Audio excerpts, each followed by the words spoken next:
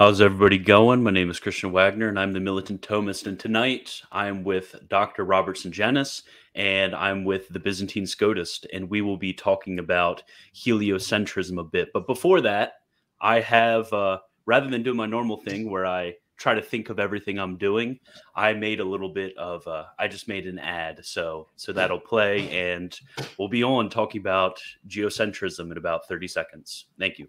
Join my Patreon at patreon.com slash militant thomist. You get access to more articles and videos. And if you'd like to help in another way, buy a Militant Thomist mug. Lastly, you can buy a book from Militant Thomist Press. See options below. Also, if you prefer audio, check us out on Spotify or Apple Podcasts and follow us on Twitter and Facebook. Join the Discord to get involved. And if you're a patron, you get access to other Discord channels. Also, destroy that like and subscribe button and comment to annihilate that algorithm. Lastly, the show is brought to you by Fluent Greek. I'm sure you've forgotten your seminary Greek and need to get it back, or just want to learn Greek to read sacred scripture in its original language. That's why Fluent Greek is here. Using modern pedagogical techniques, it is set it up so that you are reading Greek from the very beginning and learn Greek how you're supposed to learn it through reading Greek. It sorts the New Testament by verse from easiest to hardest, and then gives spaced repetition of these verses so that you can read Greek as soon as possible. Even better, it is only 15 bucks a month to use. But if you use the code militant, you can get 20% off and help the show. Go to fluentgreek.com to learn more, and the link is in the description. Thank you. So uh, we will be yes. you like that, didn't you? That's the fastest commercial I've ever heard. oh, I I made sure I put it on one time speed, and it was like a minute and 20 seconds. And I was like, you know, everybody's gonna hate sitting through a minute and 20 seconds of that. If they need to know it, they'll they'll listen, they'll it'll hit them. So I just put that baby on one and a half speed. The people in the replay hit hitting it at uh, two times speed, they'll have a fun time with the the ad. so how are you two doing tonight? Uh, this will be more of a loose style for for everybody that's watching. We'll just be going back and forth talking. Well, I'm doing good. Yeah. Can't, can't complain. There you go. The Lord's yeah, been good. well. How your Lent's been? Good start to uh to the holy fast. Yeah. No. Yeah. Although I'm past that age where I have to fast as much as you guys do, so you know, I'm I'm privileged. So I can't I can't speak from that much experience, but I know I'm, I'm I really have to do, I'm doing. I'm really I'm really happy about the uh the the 1962 uh two revisions when it comes to the uh the rules of fasting. I like to have at least one meal of of meat every day. That that makes it a lot easier, but fasting shouldn't be easy. Well, so you're I don't- still you're still a growing boy. You need that. I I know, I know. Yeah. So uh It- so I, I have to say it's a lot Good. better doing it now living on my own versus college where there's you'd expect with all these like vegans today and stuff there'd be plenty of good like non-meat options but no there's still nothing good on college campuses oh yeah, and you're you're it- Eastern you're Eastern you're too. easterner so- yeah so it's you know there was a good spot that had like an avocado sandwich at my campus but the problem was i had to walk by the chick-fil-a every day to get to it okay, so um, I, I'm thinking what we'll do is because this is a very a lot a lot of people are gonna see this, and and just like I mentioned to Gideon about uh, young Earth creationism, it can seem a little kooky what go going into it. So, uh, Doctor Sungenis, you're you're the uh, the brightest bulb of us three. So, do you want to um, do you want to just give us an overview of how the heck somebody in 2022 could even entertain the fact that the Earth is the center of the solar system? You wanna you wanna go ahead? How long how long do you want me to talk on that? Uh, and- probably five ten minutes, just a very brief overview, and Five, then we'll then we'll get back okay. and forth about about proofs and stuff like that and evidences, but more like the the quidsit of uh of, of the thing. Yeah. Well, um, I'll tell you how it happened to me, and it's a kind of a unique story, but it it, it will make sense. Um, I was home one Sunday afternoon, had nothing to do. This was how many years ago? 20 years ago, when I was a young boy. Um, I had nothing to do, so I went on the internet and just happened to be futzing around, you know, doing searches here and there. And I came across this PhD in astronomy who was saying that the Earth was in the center of the universe and not moving. So I said, well, that's interesting. So I had to make a decision whether I was going to press the next button on my keyboard to get into his website or go out and play basketball that Sunday because it was a nice day. And I decided to press the key and got into his website and started reading. And within a few minutes, I could see this guy knew, knew what he was talking about because he knew the physics of the universe. And I had I was a physics major in college when I first started college, and then I switched to theology later on. I graduated with a theology degree, but I knew the physics he was talking about, and I and I could see that you know he was making sense. So after that, I just kept reading, and you know, for weeks on end, because I just said, if this is true, then the Catholic Church was right, and Galileo was wrong. And if that's the case, then all this chatter that we've heard for the last four centuries about, well, the Catholic Church made a big mistake with Galileo, and then that begs the question, what other mistakes has she made? Okay. If she stuck her nose in a place where she shouldn't have been, you know, dealing with science, um, where else has she stuck her nose and and given us wrong decisions? And I'm not making this up. The Galileo historians have said this in their books that the church was wrong about Galileo. What? Well, here's I can give you a whole list of what they think the church did wrong, like contraception, you know, against contraception, against homosexuality, against this, that, and the other thing. Okay, so this is a big deal. This is not just about geocentrism. This is about the credibility of the Catholic Church because she put her full weight against Galileo with two different popes declaring that heliocentrism or Copernicanism was a formal heresy in 1616. Okay, and then you have the next Pope, Urban VIII, who reiterated the whole thing that was going on in 1616, and he said, yes, Galileo is vehemently suspect of heresy for writing this book, trying to defend heliocentrism.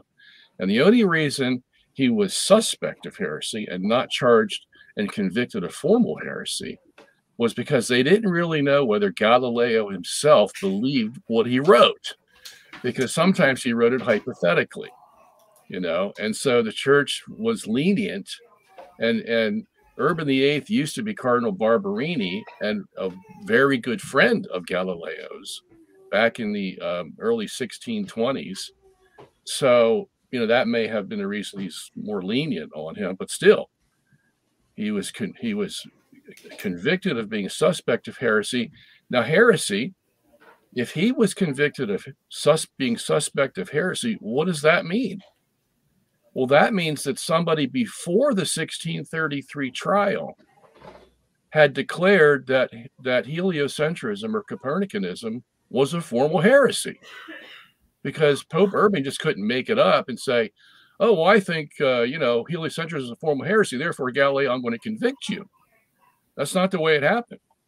In 1616, uh, Paul V had organized 11 cardinals called the Qualifiers who went in to examine this whole issue, and they came out with the opinion that heliocentrism was a formal heresy, and they wrote it down gave it to Cardinal Bellarmine, and Bellarmine gave it to Paul V.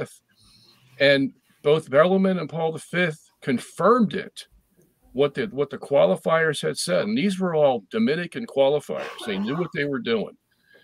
And so that's where it came from. That's where the church first declared uh, heliocentrism, or anything that makes the earth move, you can put it that way, a heresy. Okay, so that's what Pope uh, Urban VIII was going on in 1633. So, I mean, like I'm saying, this is a big issue because if if the church was wrong, then yeah, let's attack the Catholic Church because she was first wrong in sticking her nose where she shouldn't have been, and second of all, she was wrong about how she judged the issue. So, if that's the case, what's the Catholic Church doing claiming that she's infallible, that she that she can give us, you know, the right or wrong of everything that we do? I mean, come on, we can start penetrating into the church and figure out where those areas are that she really has no authority. So um, I knew this was a big thing. So I'm glad I pressed that button on my keyboard that Sunday afternoon. Uh, because that started me on a trek where I was going to get down to the nitty gritty of this subject as far and as deep and as wide as I could go to find out what the truth was. So there were four areas basically. There was scripture, and scripture's replete with information on this subject.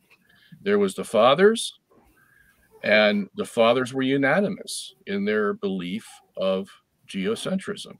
There wasn't one exception.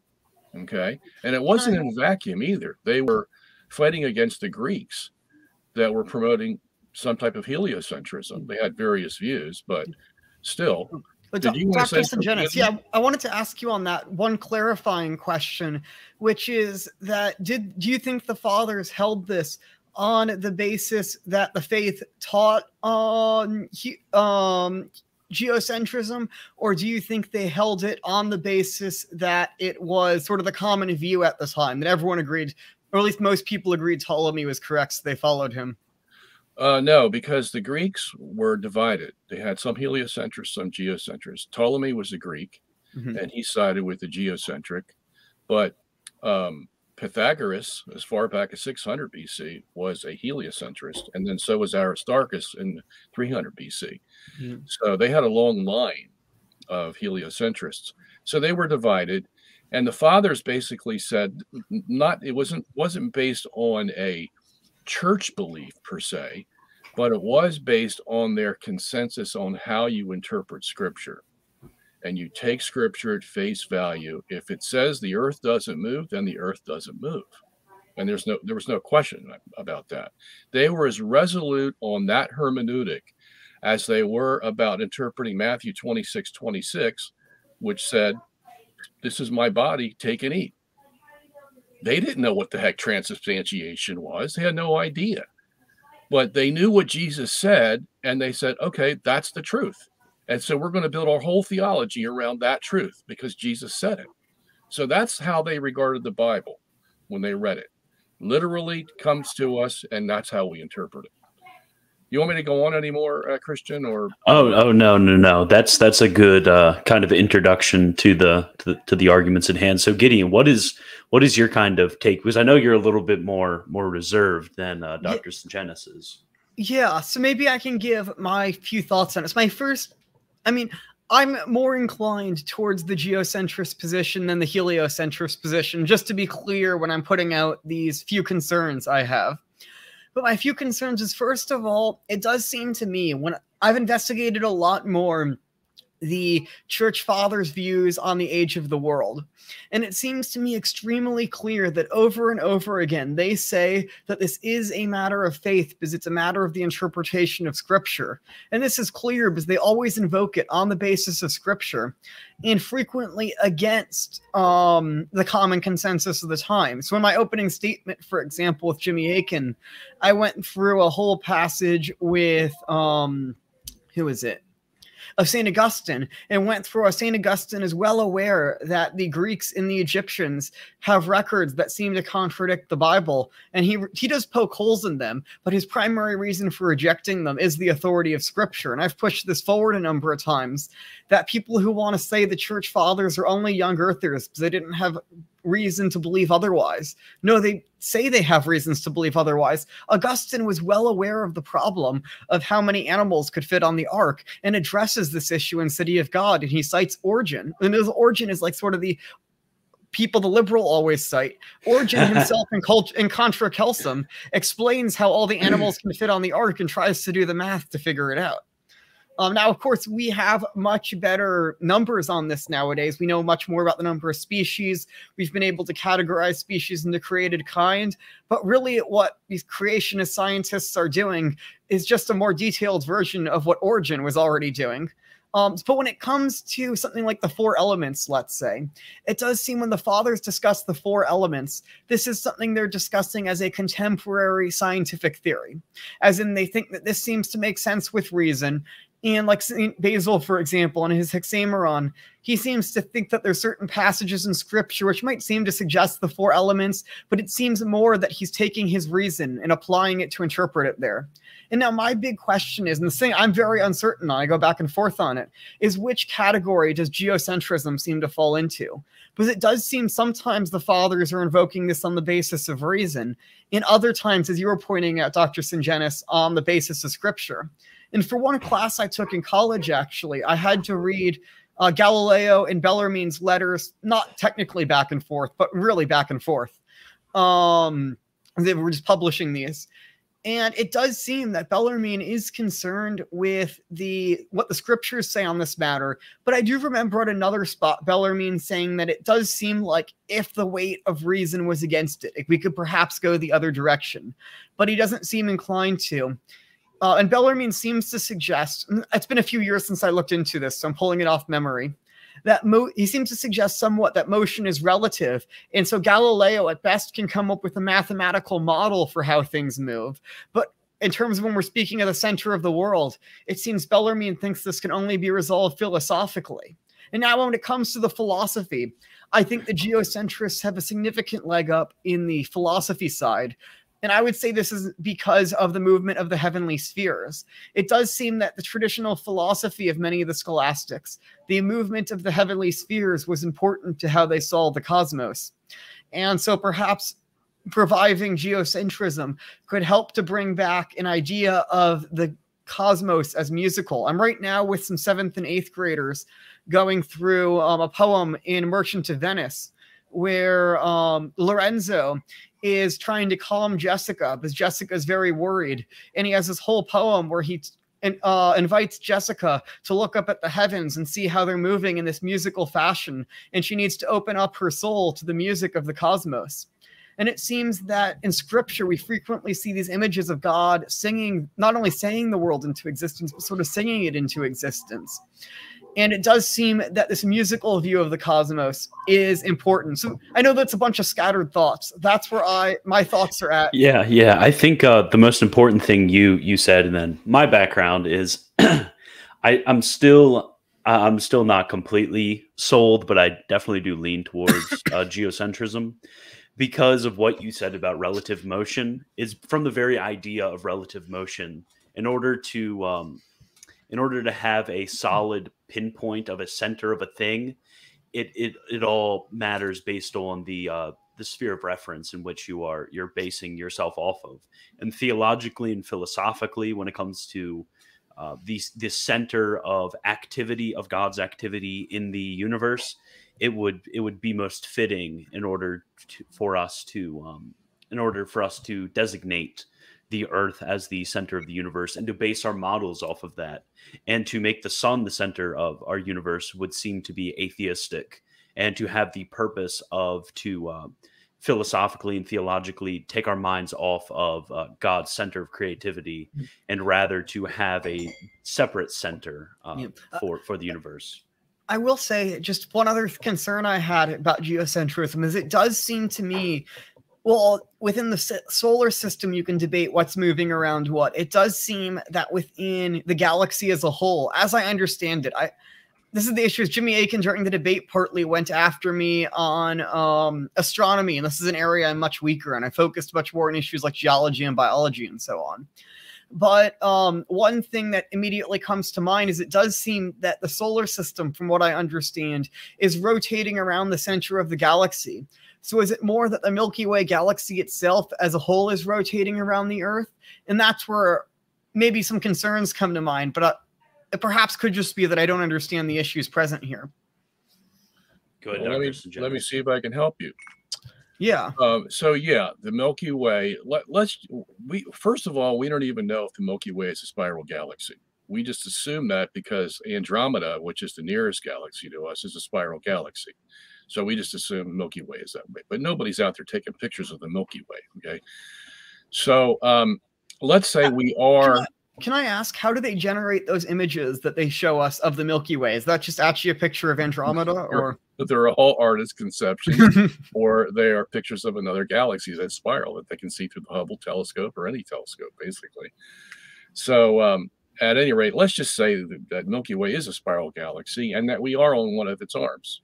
Okay, so what's going to happen is um, you stick stick a pencil, draw a picture of the galaxy, stick a pencil in where you think the Earth is, and rotate the paper. That's how it's going to work. Okay, and yeah. And, and it's going to go around once every 24 hours or 23 hours 56 minutes.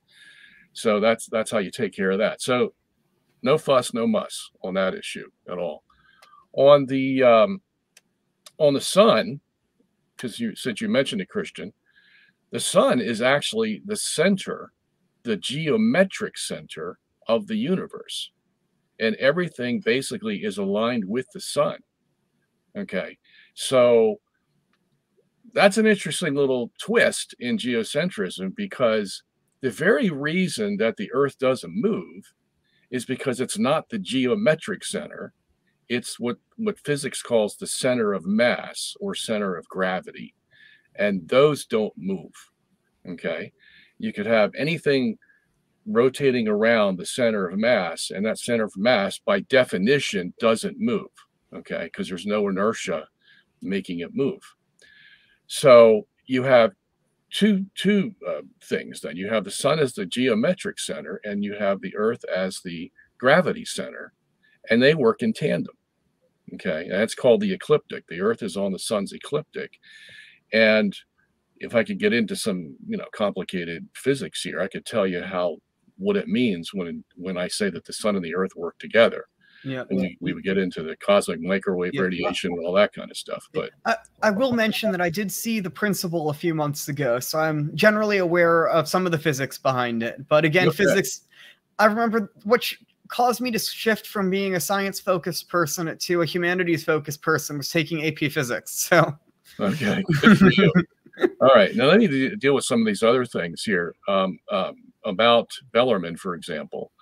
He was basing his argument on mostly what the tradition had told us about this issue, what the fathers have told us, what the philosophers told us, and philosophers in that day were scientists, what um, the medievals had said. And by the way, the Catechism of the um, Council of Trent says four times that it that it, it uh, approves of geocentrism. Okay, so um, he he had that in his arsenal. So that was his basic argument against Galileo. That look, if you're going to go against 1600 years of tradition, you better have something in your pocket that you can whip out and say, here's why. Okay. Isn't it obvious? And so that was Bellarmine's next attack was that whatever Galileo had in his pocket, it was bogus. And even today, we know it's bogus, like the tides causing, you know, the earth rotating, all that kind of malarkey. So, um, you know, Bellarmine was wise enough to say this guy has no proof for his science. So that's the science end that Bellarmine uh, was dealing with. But Bellarmine didn't really know the science any better than anybody else did because science basically was in its infancy at that time. Okay.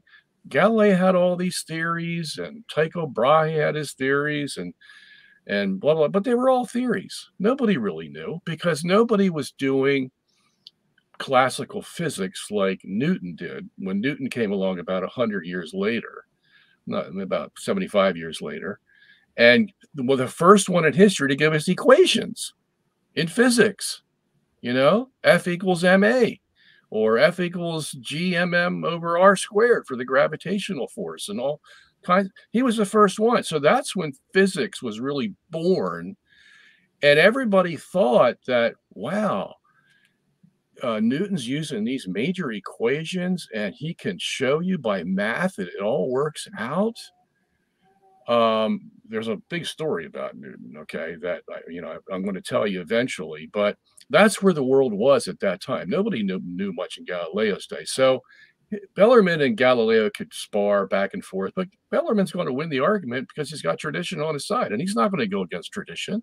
Even when he said, well, if they can prove their theory, then, you know, we'll just go reinterpret scripture. But that was after they had convicted Galileo. And we know Bellarmine's not going to convict anybody of formal heresy unless he really is sure that it's never going to change. Because if he's wrong, he could put the church in a quagmire that it's never going to get out of. Here, your highest official says, you know, well, if we could be wrong, we go reinterpret scripture. Well, then we got to reinterpret scripture about everything. So did Bellarmine really mean that he was going to give in? No. He was resolute that he was right because he had tradition on his side. And he was a faithful man of God. That new tradition was guided by the Holy Spirit. And that the Holy Spirit wasn't going to take a vacation dealing with the Galileo issue. He was going to be right there with the church. Okay. So that's why he was so good. And he already proved himself with the Protestant Reformation. This guy was top notch. You couldn't put, get anything past Bellarmine. Um, and then dealing with the science of the fathers, they they were in a much more primitive state than than even Bellarmine was. I mean, what little science they had, they used, but we would not really call that, uh, you know, basic classical science that we use today. Okay. They weren't using equations, they were just guessing what was occurring out there. You know, like Ptolemy guessed and Aristotle guessed about how the universe was composed. I mean, they believed that crystalline spheres were housing the planets, and that's how they rolled around the sun, which is, you know, from our point of view, it's ridiculous. It just doesn't happen. But that was their concept. And so they dealt with these concepts. But they tried to be as faithful to scripture whenever they proposed a scientific explanation to what they saw what was going on out there. You see, so they never divorced science from scripture. They always tried to meld the two, which is very good, actually. So, just a few thoughts. Okay, so um, the immediate thought that comes into my mind, and I think Gideon was also thinking the same thing, um, because I think we've talked about this before and you mentioned it. So when it comes to the magisterium, so are, are we in a similar situation as when we think of uh, theistic evolution or young Earth creationism, where it's it's not it's not something which is uh, which has been included in more solemn definitions, but it is something that has been mentioned uh, in in a in a lower level of the magisterium because it seems, at least from what I've heard, and I haven't done as exhaustive a study, it, that the current magisterium is very much against uh, the interpretation that you're putting forward. The current magisterium, yeah, they're against everything. You know, that, that because they constantly listen to mainstream science. That's all they listen to. Mm. So uh, obviously, obviously, these guys are without the needed information to make a, an intelligent decision. They've already decided whose side they're on and the, the Pontifical Academy of Science, for example, has 100 members, and they won't let one creationist in to be a member. And that's been true for decades. Okay. So we know where the Vatican's coming from on this issue mm-hmm. because of who they listen to. Um, so is that the only area of the magisterium you wanted to cover? did you want to cover the uh, one with dealing with Galileo also? And what um, I, I would I would love to hear about um, the magisterial because the magisterial weight doesn't always include doesn't only include our current magisterium, but magisterium yeah. in the past. So, what weight does the magisterial documents from the uh, 16th century have on this? I also wanted to ask on that while you're going on that I've heard that in the 1800s there was like some magisterium reversing the Galileo decisions. I don't know almost anything about it, so if you could maybe let, go into that as well. You, let me tell you because this will knock your socks off. Okay. Um, in um, Lawrence Gonzaga is calling me for some reason. I don't know why. Um, I'm tempted to answer the phone because he always says something important, but I'm going to let it go. anyway, okay. So we're talking about 1820, right around there. Okay. So a, a guy named Canon Settele was a canon for the Catholic Church, writes a book, and he's saying that that heliocentrism is a fact. Okay, now that's gone beyond what the church had allowed. The church said, okay, you can consider it a hypothesis, but not a fact. Okay, you can you can use if it's a hypothesis, you can use it whenever you want to use it, but don't tell everybody it's a fact. So this guy comes along and says it's a fact and he wants to get his book an imprimatur. So at that time, the man in charge of imprimaturs, which is the um, he is the um, head of the apostolic palace, and he is the one that can give the authority to give an imprimatur, and his name is Father Filippo Anfossi.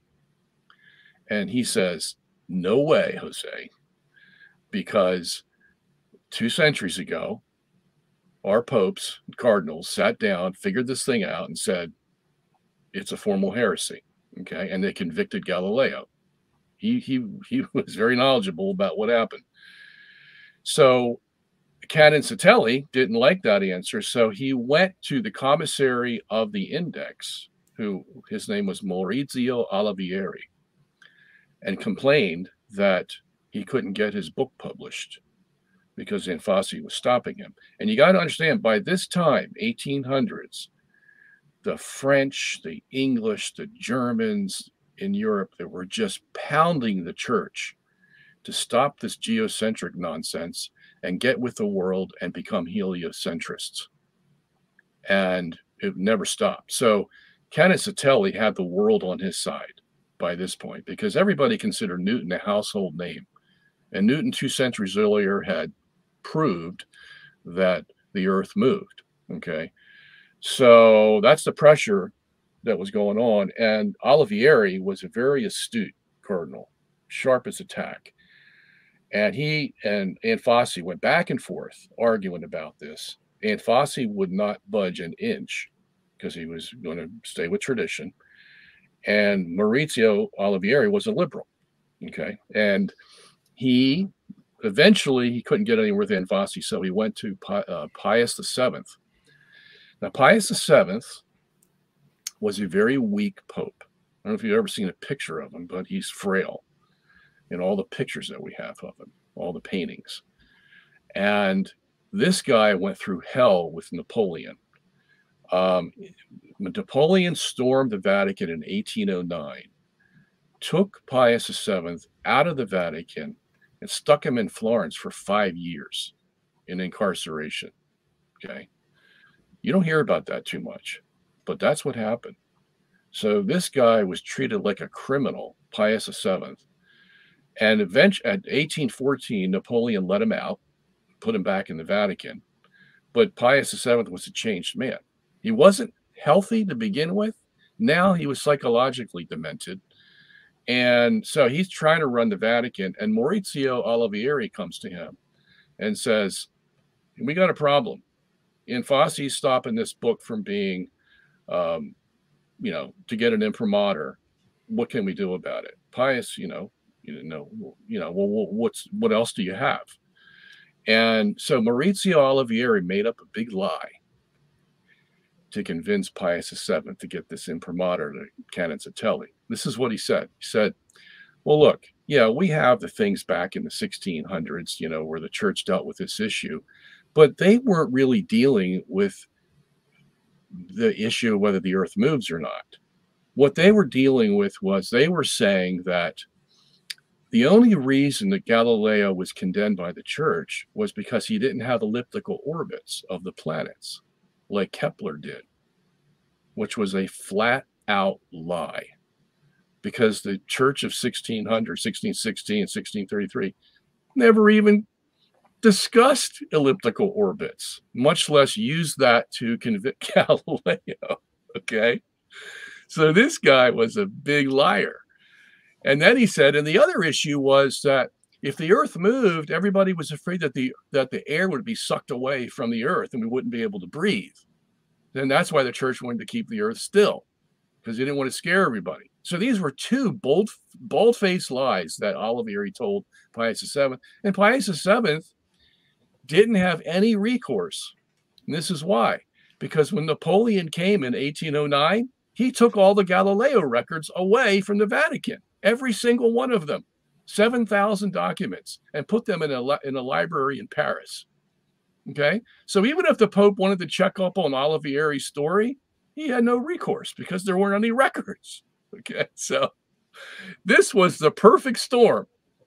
The perfect storm because Pius VII eventually gave in. All right, give him the imprimatur. And then everybody says, oh, the Vatican gave in. They gave an imprimatur to Canon Settele for his book on heliocentrism. And and then Olivieri tried to get um, they, they figured that things were moving in their direction. So Olivieri tried to get um, Galileo and Copernicus taken off the index of forbidden books at the same time, right after they gave the imprimatur to Canon Settele. And the, the council came together and said, no, we're not going to do that.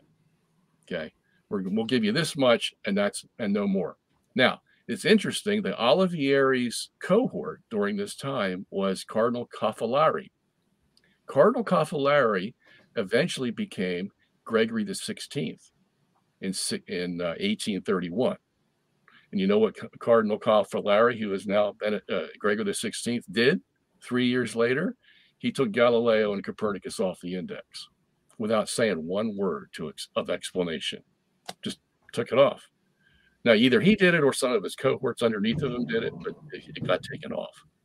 And right after that, there was an avalanche in the scientific world, and the word got out that the Vatican finally gave in because they took Galileo off the index.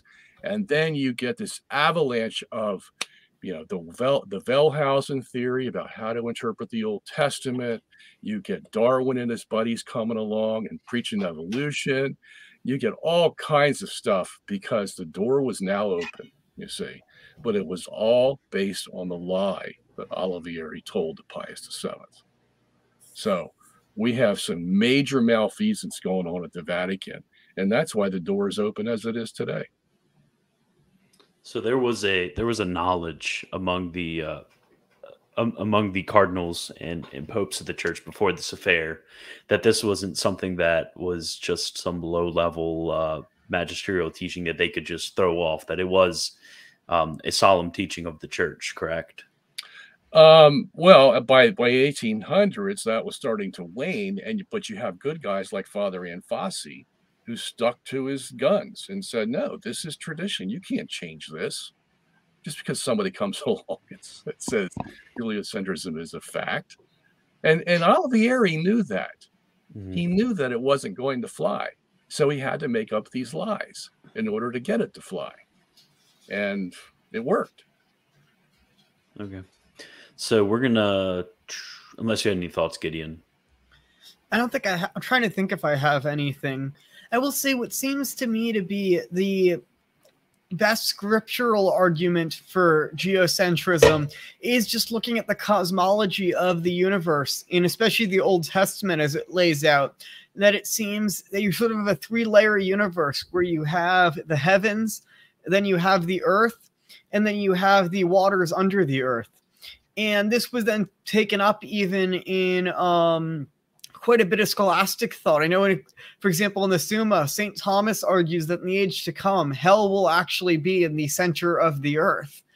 Um, and it does seem to be that if this is the spot which is furthest away from where God is, this is in the center of the universe, because it seems to be that the planets in the eyes of Scripture are somehow an ontologically different spot than the earth.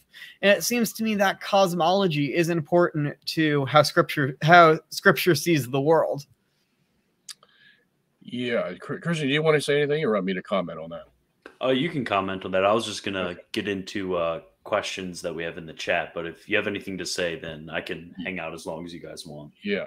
Uh, by the way, how long did you want to go on this? Uh, uh, we can we can go as long as as you guys have time. I have right. I've work at ten o'clock because okay. I'm a night shift I, I'm, worker. I'm free all night, so I yeah. I just I just got off work right before this, so okay, so we're all free. um, um, the fathers in the medievals did struggle with what to do with the water. Okay, um, even Chrysostom believed that the earth was in the water somehow, and um, so that got it, but no other fathers were went in that direction. Um, so you do have a little problem with the water, but most of them understood, especially Augustine, who basically led the field on this, that when the when the scripture Genesis one says that there's waters above the firmament, that means there's waters above the edge of the universe. Yeah. Yeah. There's, as we see in Revelation, right? There's that crystal sea at the very edge of the universe, it seems like. Yeah. Yeah. You could, you could apply that. Um, but, and he said, look, we don't, and I, I quote this all the time from Augustine because it's just so good. He says, look, we don't know what the form of the water is at the edge of the universe. For mm-hmm. all we know, it's probably ice because ice freezes below 32 degrees Fahrenheit. At least the fathers knew that, that the ice came at a certain temperature. Okay. Um, they didn't maybe know exactly what temperature it was on the Fahrenheit or Kelvin scale or whatever, but they knew that that happened. And I and and um, Augustine said it's probably ice. And Hildegard, Saint Hildegard, who was a genius in her day, said basically the same thing mm-hmm. that it was ice up there. So um, that's what they did with the water that originally surrounded the earth on the first day. The firmament pushed most of the water out and it became ice at the rim of the universe. So that that, oh, interesting. That satisfied everybody. Yeah, that, that confirms what's a little bit of what I've read on this from a scriptural perspective. Um, just because I'm very interested in symbolism in the Old Testament. And so yeah, I wanted to also ask somewhat on this point if um no, I think I totally forgot my. Oh yeah, um, if you think that this is as important of an issue as the young Earth issue, because it seems to me that the young Earth issue is very, very important because it's asking, do we believe the narrative taught to us? by scripture versus it seems to me more that this has less of an effect than basically for example, the young Earth, right? This we're asking the question of, and especially a young humanity, we're asking the question: Is the story taught to us by Scripture the real history of humanity? We're asking about our history. This seems a little bit more abstract. I don't know. Do you think it's as important?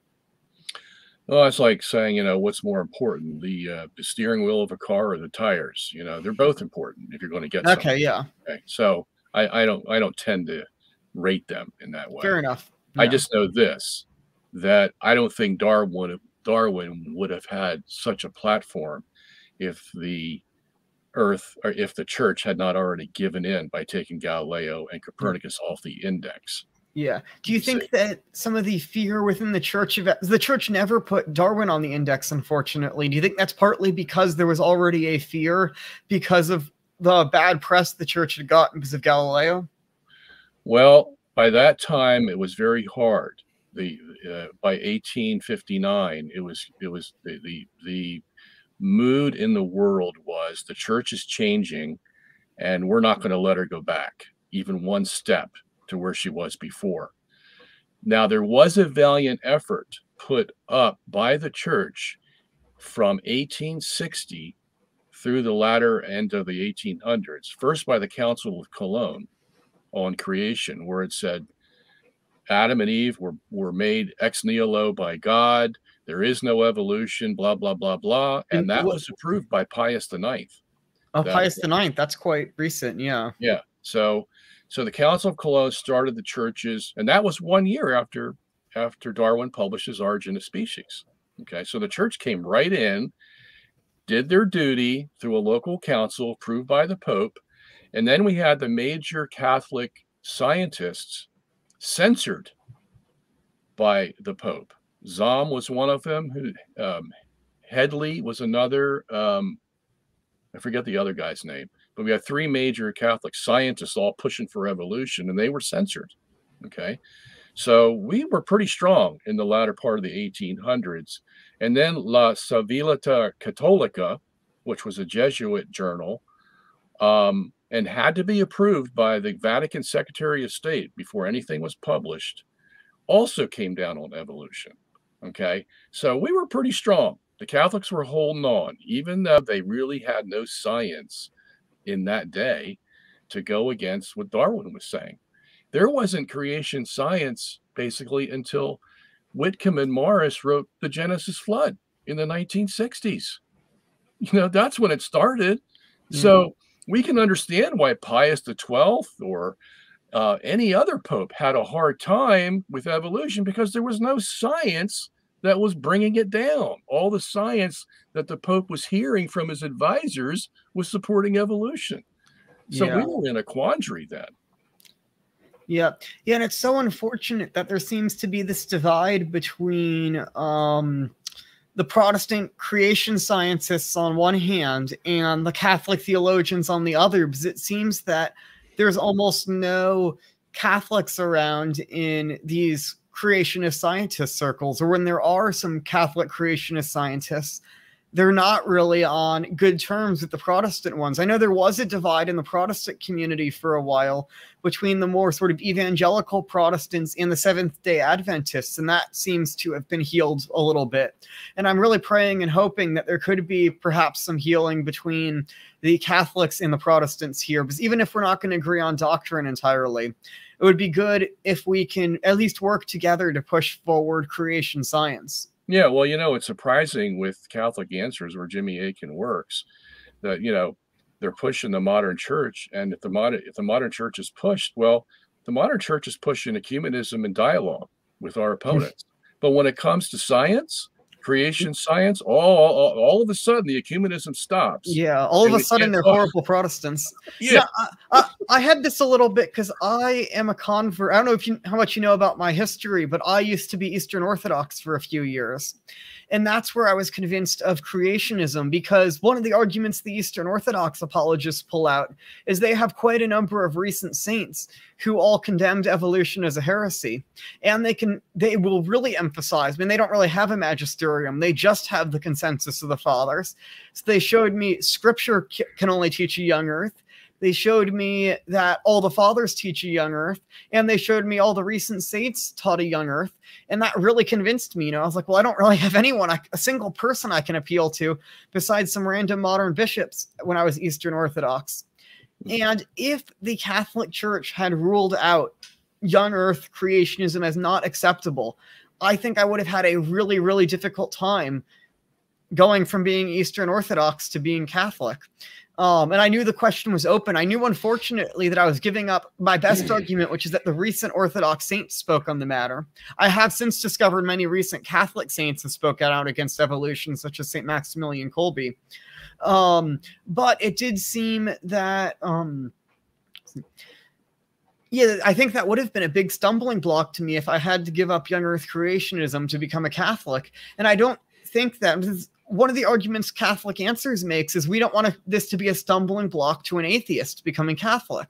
And I fully agree. If this is a stumbling block to an atheist, don't discuss creationism with them. You know, if that's going to be their stumbling block, just let them know the church can, lets keeps their view once they're Catholic. Try and work on them a little bit. Um, but if they're a Protestant or Eastern Orthodox, why aren't we saying, hey, you're young earth creationism? You don't have to give that up at all to become Catholic. You can come in with those views all the same because the church, the magisterium says you can hold either perspective. Why are we telling the fundamentalist Protestants that when they're going to become Catholic, we act like they're going to have to give up their young earth creationism? Well, you know, it all goes back to Galileo. Hate to say it, but the church does not want to go through another Galileo experience you mm-hmm. see, where they condemn the man and then it's later found out, mm-hmm. so called in science, that they were wrong. Yeah.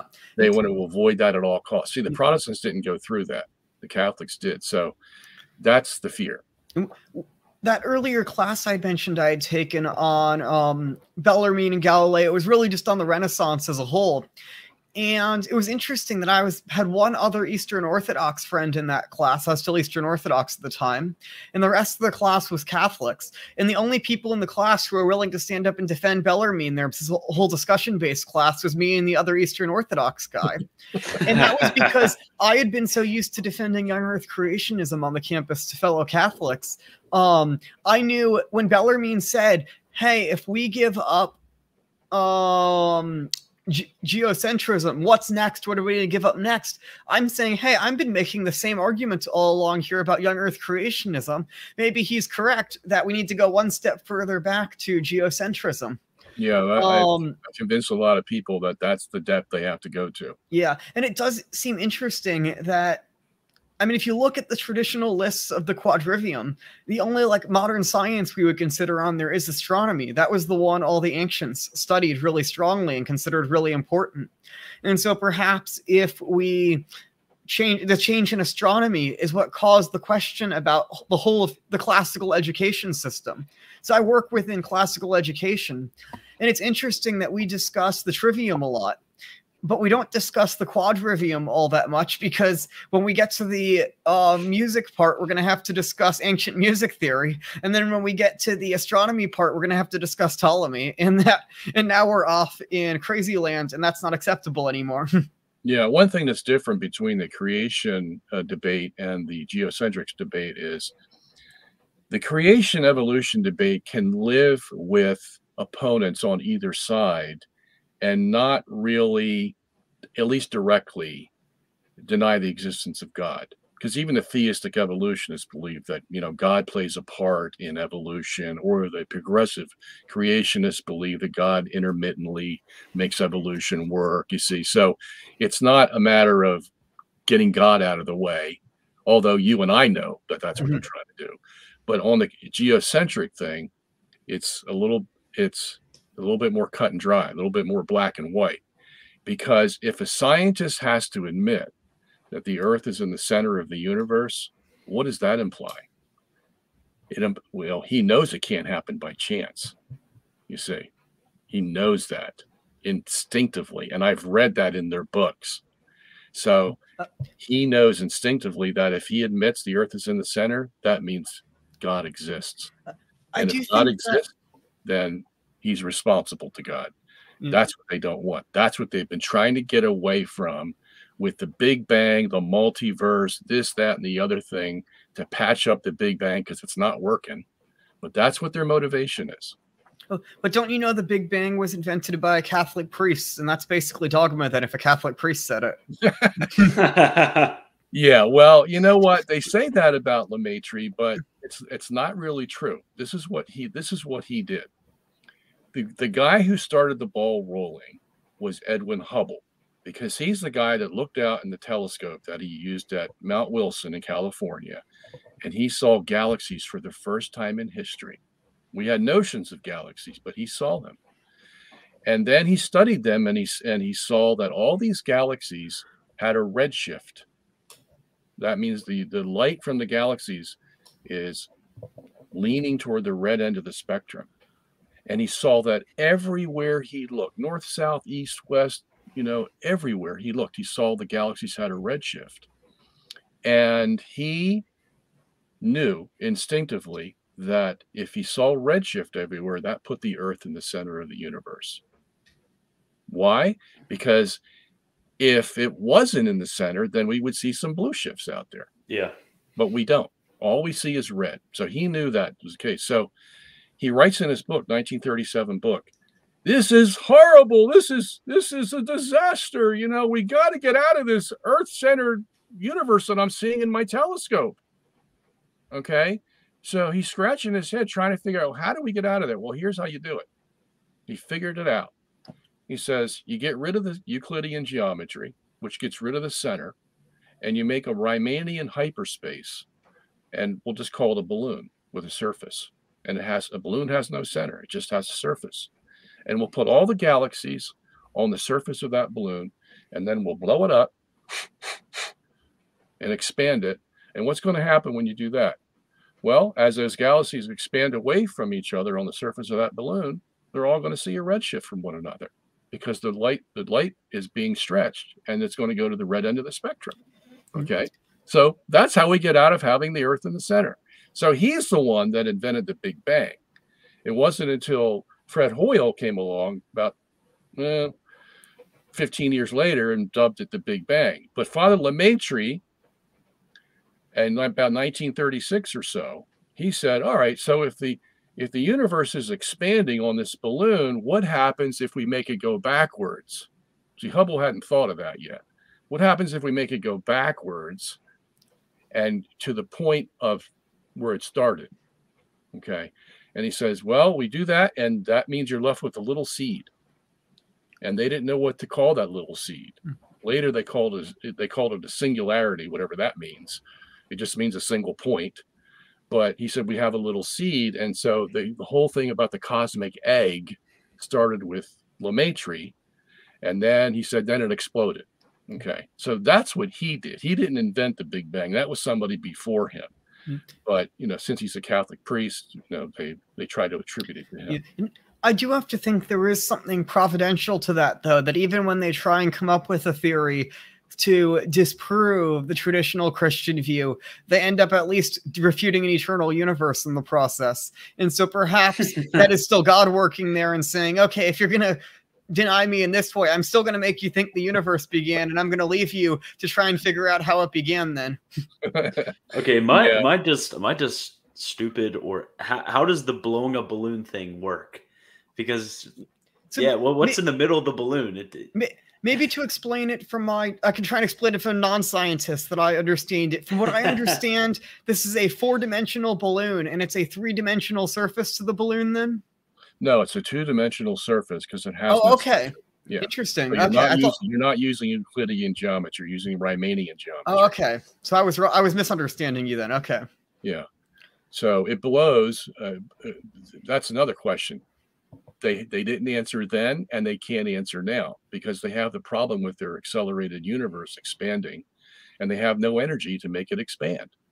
That's why they talk about dark energy and dark matter and all this stuff Yeah. because they need 96% of the energy of the universe to make this thing expand the way they think it's expanding, Yeah, and they that- don't.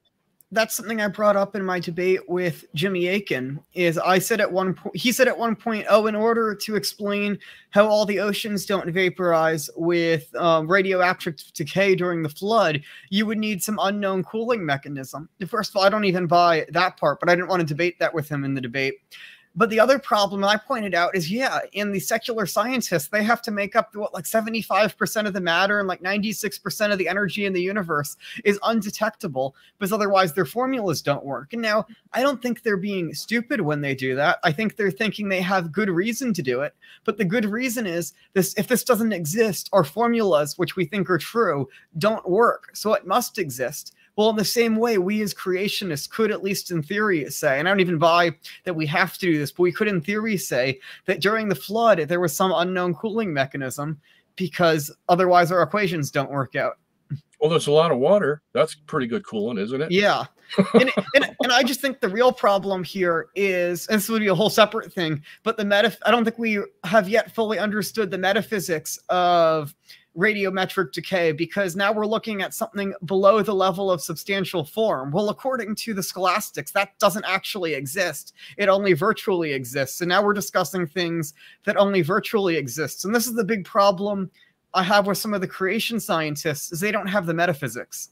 They might be really good on their science, but they're accepting fundamentally modern presuppositions about how we do science. Yeah, I understand that. Um, I I have to be honest with you though. Mhm. Okay, I'm not as enamored with the accident substance paradigm as a lot of other Catholics are. Okay, so Yeah. I don't use that as a a a, a buffer. I mean, or as a um, buttress to the geocentric argument because Yeah. first of all, it goes way beyond their heads. Okay, Mm-hmm. and you, you got to get them back down to earth and talk about things that they can feel and touch and smell and see. So um, that's why I don't go in that direction. Okay. But um, what I would say though is um, the the the geocentric universe is such a stable universe. Okay. Think about this. The Earth in the heliocentric system turns on its axis and spins once a day. Okay. Evolutionists admit that if the Earth is what 4.5 billion years old, that at some point, you know, maybe and and and um, what's his name said this. I forget his name. I'll get in a second. He said a billion years ago, the Earth was traveling, uh, was rotating uh, in about 10 hours for the day. Okay, and ever since then, it's slowed down. All right. Well, that just begs the question. The Earth has been, uh, according to them, rotating for thousands and thousands of years, and we have this same rate of rotation. How is that possible?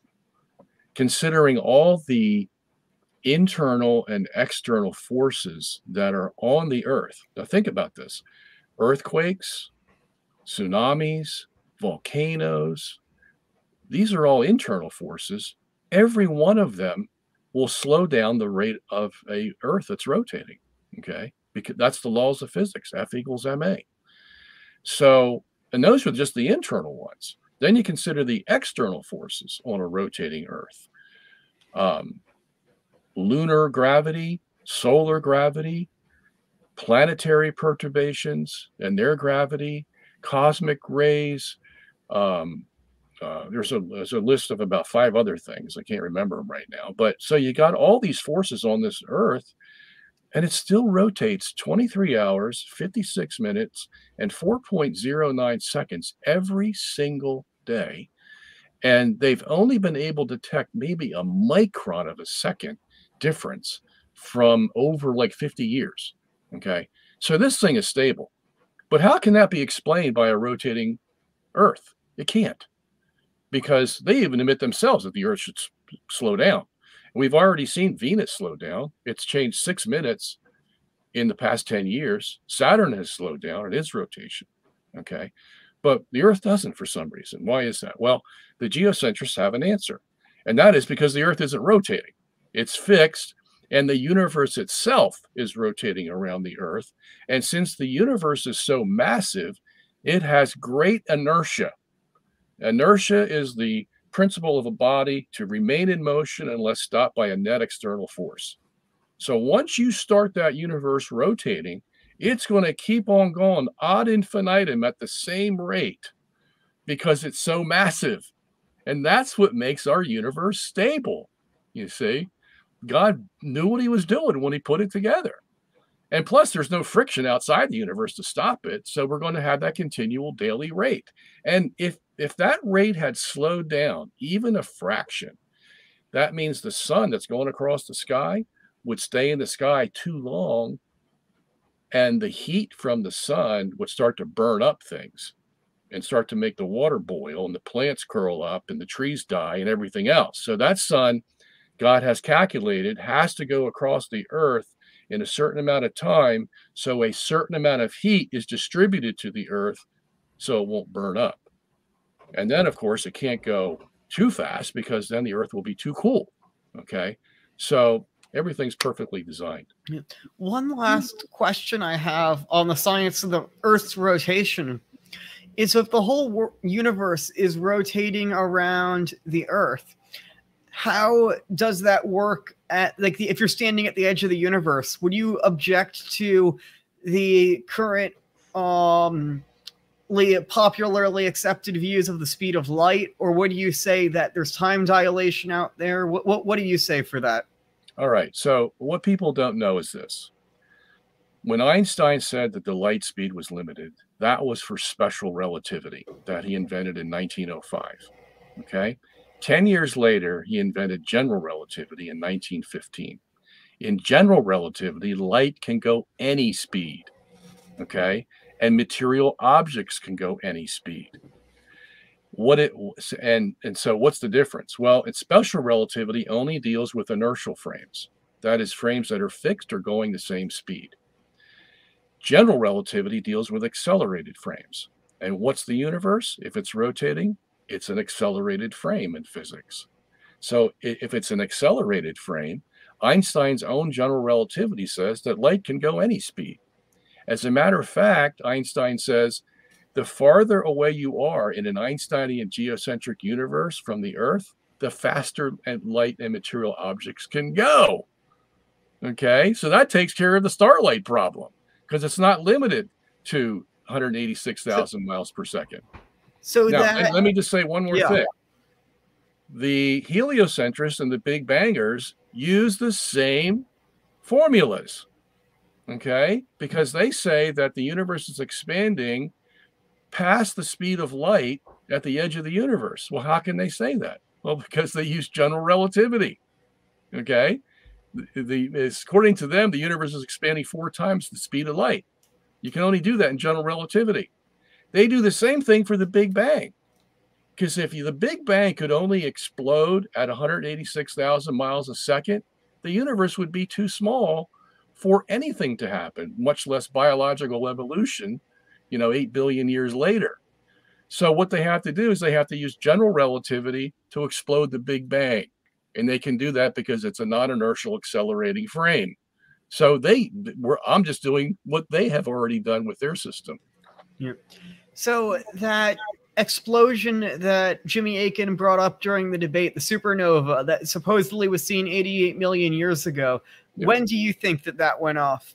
Um, when they saw it, probably less than 24 hours. Okay. Why? Okay, look. The only way that you can empirically measure the distance of the universe is by stellar parallax. But that can only go out to from 300 to 600 light years. Okay. if something's 88 million light years away, there's no way stellar parallax is going to be able to measure that. So what else will they use? Well, guess what? They try to use redshift. And you you know the dubious history of redshift already with Hubble, okay? And now they're going to put a speed and distance on it and say, well, the more the redshift is in the galaxy, the further it is away, and that means the further light has to travel to us at 186,000 miles per second.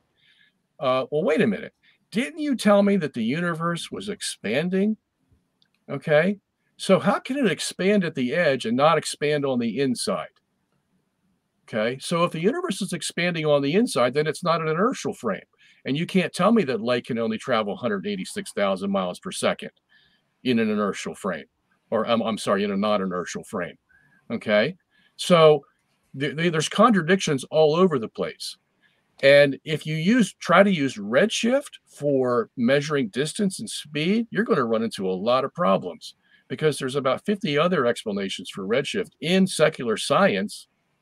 And one of the major contestants against using redshift was a secular scientist named Halton Arp. I don't know if you've ever heard of him or not. Halton Arp said, look, you can't use redshifts for measuring distance and, and speed because quasars are right next to the galaxies. And we can prove this by the fact that there's stellar filaments between the galaxy and the quasar. And the quasar has three times the redshift that a galaxy does. And yet they're in the same place. So, how can redshift give us measure of time and distance? So, in other words, they have no idea that this supernova is 88 million light years away. It's just a guess based on all the assumptions that they've made and all the assumptions can't be proven. Okay, so yeah, that's how we would answer that. Yeah, that was a really good point there. Some stuff, a reframing of some things that I hadn't thought of until you just explained it that way, especially with the redshift. Um, I'm going to definitely after this interview, I'm definitely going to have to go read a whole bunch more about this now because now you think you've really piqued my interest. That this is important for answering some of the old Earth objections. I'd be I have, curious. Few, I have a few books for you that you can I can send you if you yeah. want. Yeah, that would be excellent. Yeah, the only book I had picked up is um I have one book by um, Wolfgang Smith on some of these issues. Well, he'll never get into this stuff. Okay, but that would be good because it seemed he was getting into more of the metaphysics focus of it rather yeah, that, than that, this. That's where his baby is, right there. Yeah, and, and that would be great. Thank you. By, by, the way, he's a Platonist. Yeah, I know, I know he has some metaphysical issues as well. Yeah. Okay, we're gonna get into the chat. There looks like there's quite a few questions. So uh, if you have any questions, make sure you uh, throw them in the chat, everybody. And there was a question up here, but it looks like it disappeared. Somebody said that they had heard you say that, um, Dr. Sungenis, they heard you say that if uh, geocentrism was was proved to be incorrect, then Christianity would be proved to be incorrect or something to that effect. Is is you never said that? Okay. No. Okay. So they want me to say that, but I never said it. That that question has been asked probably I don't know 50 times since I've started this trek. Oh, so some somebody uh putting out rumors. Okay. You get all kinds of things when you're a geocentrist. there you go.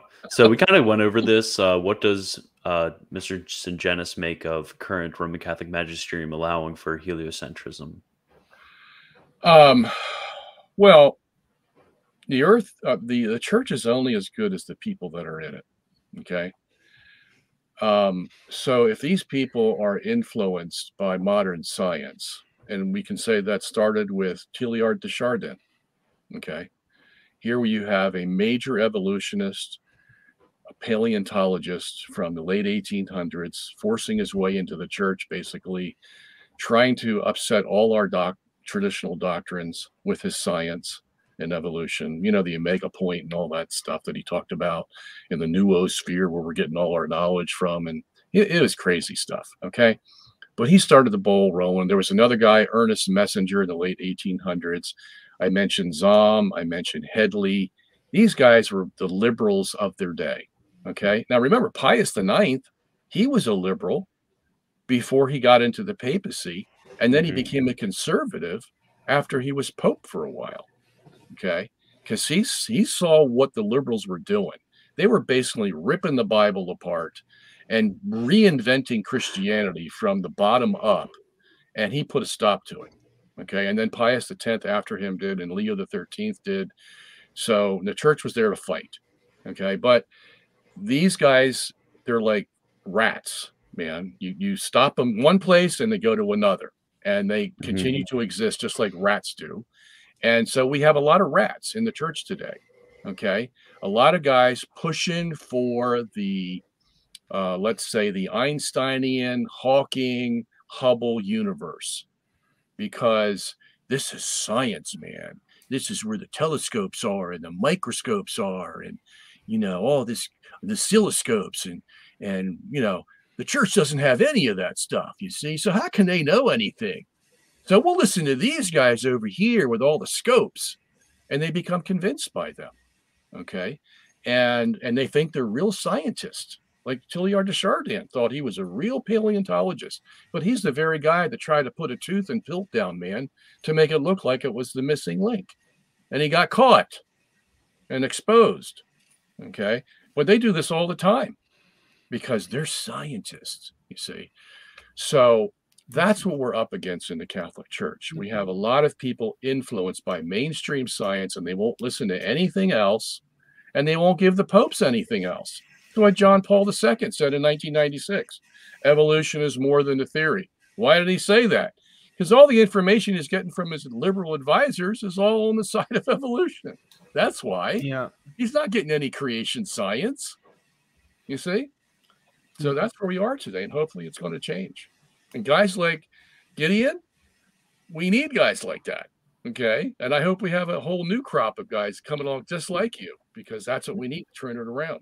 I think there are a lot more young people moving my direction. I think this is where someone like Jimmy Akin is concerned. Is you know they spent this whole lot of time building up this generation to sort of conservative Catholics, but all the young people, they've either left the church or they're becoming traditionalists. There's, I mean, I, when I entered my college, I went to uh, the Catholic University of America. I was one of the few traditionalists around. I had a large group of friends who were very conservative, but not traditionalists. They all just recently gathered to watch my debate. Most of them were telling me they agree with me or they're very sympathetic to my position.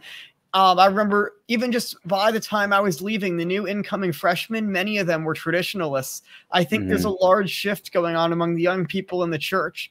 A lot of them on, I think it started with what mass they're going to, but I think it will continue even all the way to things like um, evolution and things like that. Yeah, I guarantee, I guarantee at least probably more than 95% of the people watching right now are uh, are under the age of 25. Yeah. And and like you look at my demographics for people that watch when it comes to things like this that I that I cover like very traditionalist sort of uh sort of things, it's 95 97% below the age of 30. It's uh, I just had guys from Catholic University used to come to me and say, you know, we heard the Catholic theology down there, and they basically don't believe in Catholicism it, anymore. Would you, would on... you teach us? Would you teach us Scripture? And I said, yeah. sure you know it depends on the professor because they have everywhere from like i had dr chad pecknold who's an absolutely excellent professor very traditional all the way to i had one professor um telling me about how the perpetual virginity is a third century belief and when i showed her the perpetual virginity of mary from scripture she said oh that's just a later interpretation of it saint luke never would have understood it that way well why oh, is yeah, she te- yeah. why is she teaching mariology yeah well, you know what? We have guys uh, at at um, at Catholic University.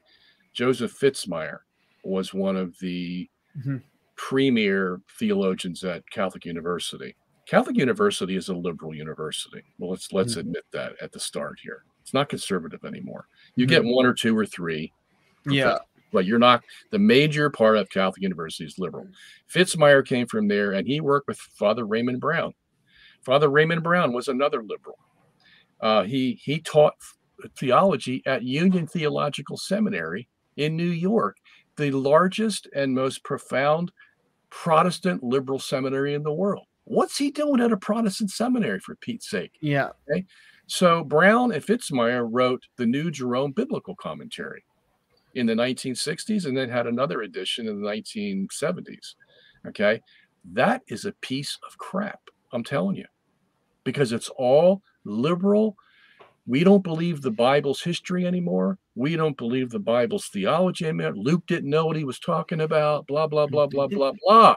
And they rip our Catholicism apart. That's what we're dealing with today the big problem also is you can't as a catholic i feel like enter a lot of academics and hold different views so um, for example, there was a number of people who commented on my debate with Jimmy Akin saying, oh, you know, all the professional theologians, they all reject young earth creationism. They all believe in evolution. That's not true. I know plenty of theology professors who have told me personally that they are a young earth creationist. They can't. Well, here, here's public, what happens on They can't speak publicly on it though, because if they did that, they would not be hired anymore. If they were well, public right. about their views, they'll talk to me about this on the phone, but they they will point me towards resources. They'll. I, I talked with a while for a theology professor I'm friends with about my debate. We went over it together, and he fully agreed with all my points, but he could never talk about that publicly. Yeah, the, well, that's the same thing in secular um, uh, academia. The guys that are feeding the world this big bang, no creator, multiverse, you know, everything and and and uh, evolution, all that. These are the big boys. These are the Lawrence Krauses and the Max Tegmarks. These are the guys you saw in my movie. George Ellis, the Einsteins, the Hawkings. These are the guys that reign. The other guys that teach high school or they teach college they're a lot different than the upper echelon scientists. The upper echelon scientists are 95% atheist. That's according to Scientific American. The lower echelon guys are about 60% atheist. So you got a lot, you got 40% in there that want to believe in God, but they can't say anything or they're going to lose their job because yeah. these guys up here control it. You see, so that's what we're up against even in your circles. Yeah, and I'd love to. I've really would love to study biblical studies. That's really my love is typology in the Old Testament. Um, that's what I'd love to go and get a graduate degree in, but I can't find like a single university where I could study scriptural studies from a traditional perspective. So I'm looking at going in and getting a degree in systematics because I think you can hold much that area there seems to be a lot more traditional people in that area. Oh yeah, biblical studies is just but as yeah, liberal as it will be. I looked at doing um, just taking a single class while I was at Catholic University on the Gospel of Matthew, and I Google the name of the professor who has it, and I come up with an article by him about how Matthew didn't write the Gospel of Matthew. Well, why am I taking a class on the Gospel of Matthew written by somebody who won't even believe? He doesn't even believe before we even get to the first line, the title. yeah, and that title is actually very important. Yeah. Uh, Kata uh, Mathon. Uh, yeah, and um I also I looked into some more stuff with the biblical studies department at CUA, and I encountered an article by one of the professors there. Uh, reviewing some it was a book review so i couldn't look at the original book but he was praising this book arguing that deuteronomy was written super late and the argument that deuteronomy was written super late is that the book of proverbs which is apparently agreed to be one of the earliest doesn't reference deuteronomy so Prover- deuteronomy must have been written after proverbs and then later later in this exact same article, they argue that Deuteronomy alludes to Proverbs, and therefore Deuteronomy must have been written after because it's drawing from Proverbs. And what maybe the allusions just went the other direction. yeah. These these these like biblical studies types, like if you actually read what they're saying, it's just stupid. Yeah. Like there, there's and, there's nothing there's nothing more about yeah. it. You you had on um Christian, you had on the podcast a few days ago, um Matthew Dr. Matthew Levering, who's a yes, great guy. Yes. Um, but he was defending some of this more hierarchical stuff. And he cited as one of the examples of good Protestant biblical exegesis Peter Leithart. Well, Peter Leithart's uh-huh. a young earth creationist. Does Peter Leithart not know um, genres of biblical texts, and that's why he's a young earth creationist? No, he's well respected as one of the best biblical scholars out there. It's just that he tends to be a little bit more quiet about his young earth creationist views. It's well, in all of his older stuff from the 90s, but very clearly here's, here's the here's the irony I see in that whole picture is the Catholics had made a legacy for themselves by interpreting scripture literally. So, mm-hmm. as, as I mentioned before, Matthew 26, 26, this is my body, take and eat. Interpreted literally, no questions asked. Yeah. We don't care if we can't explain it. We're just going to take it as it is. John 3, 5. Unless a man is born of water and the spirit, he cannot enter the kingdom of heaven. Well, what's yeah. the water? Is it symbolic? No, it's literal. You have yeah. to have the water. And okay? this is something so, Dr. Let, let finish here in a minute. Yeah, sorry, yeah, sorry, yeah. That won't be too much longer. Um, and and and so on and so on. Everything in the Catholic Church was based on a literal interpretation of the Bible. Okay. Mm-hmm. Whereas the Protestants come along and they don't want to do that. They want to look at Matthew 26, 26 and say, oh no, that's that's just symbolic. The word estin there, the, the Greek copulative, that's just symbolic. Okay. Because obviously a piece of bread can't become God. Who are you kidding? Okay. So they're basing it on their reason. Okay. They can't reason it out that that could be true. But the Catholic Church said, no, we don't care whether we can reason it out. We're just going to take it as it says. Okay. So they diverge. Protestants come along with John 3 5, and, you know, unless you're born of water and the Spirit, well, there's only a few denominations, the Episcopalians, Anglicans, and the Lutherans, that look at that literally.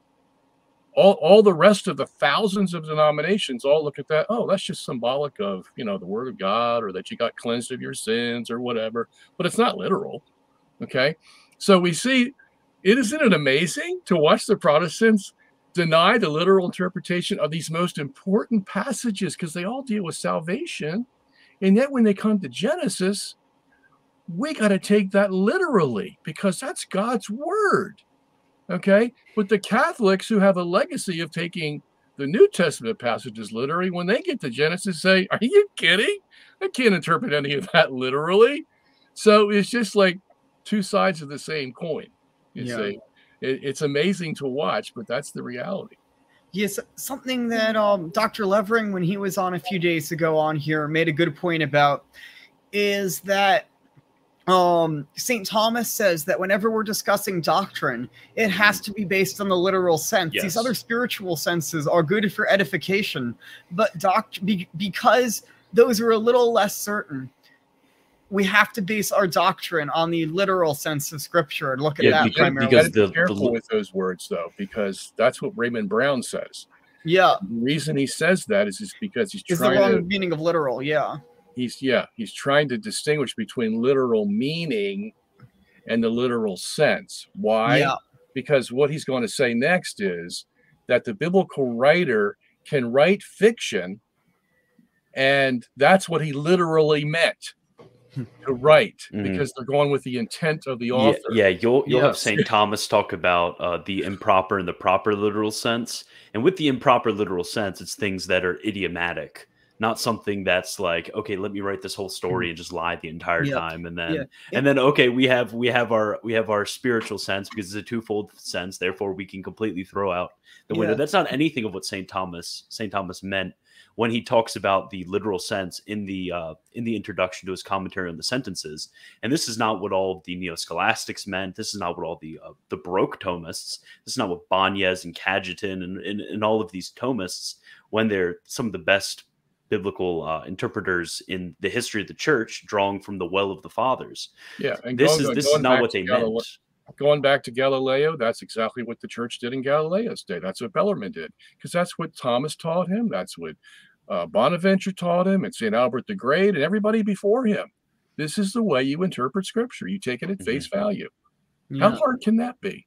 you know i would be interested to see if um saint albertus magnus uh, if, if he ever treated this question because because he's he was known as being one of the best scientists of the of the medieval yeah world. he was very good yeah yeah yeah okay let me if you do that let me know what he what you find I'd like i will i will definitely look okay so yeah. we we spent a long time on that question so uh okay.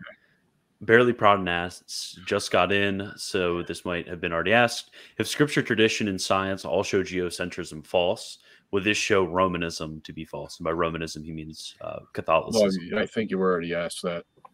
Oh, um, oh, okay. I, am not going to answer any of those hypotheticals because they're going to take them and try to run with them. Okay, and mm-hmm. Not, mm-hmm. not something I want to do. Okay. So AJ, you might have yeah. to help me with explaining I, oh, what this question yeah. means. Yeah. Before you got into that question on the last question, I just wanted to add also that I feel like these hypotheticals are a bad argument. I mean, we could easily say, oh, if you were convinced that um like Christ didn't rise from the dead, would you still be a Catholic? Well, no, at a certain point, I wouldn't. But I also believe that Christ did rise from the dead, so that's an absurd hypothetical. Yeah. We have to ask the question of whether these things are actually true or not, not just hypothetically. Right. Very good. Okay, so AJ, uh, my second question is about the experiences with uh, Foucault's pendulum and how accurate they seem to be. What's the explanation for the change if the Earth is not moving? Oh, that's an easy one. Thank you for an easy one. Um, you see, there's this thing called relativity, rel- relative motion. Okay. And what they discovered, especially with Einstein's theories, is that relative motion is not just a geometric phenomenon, it is a force phenomenon.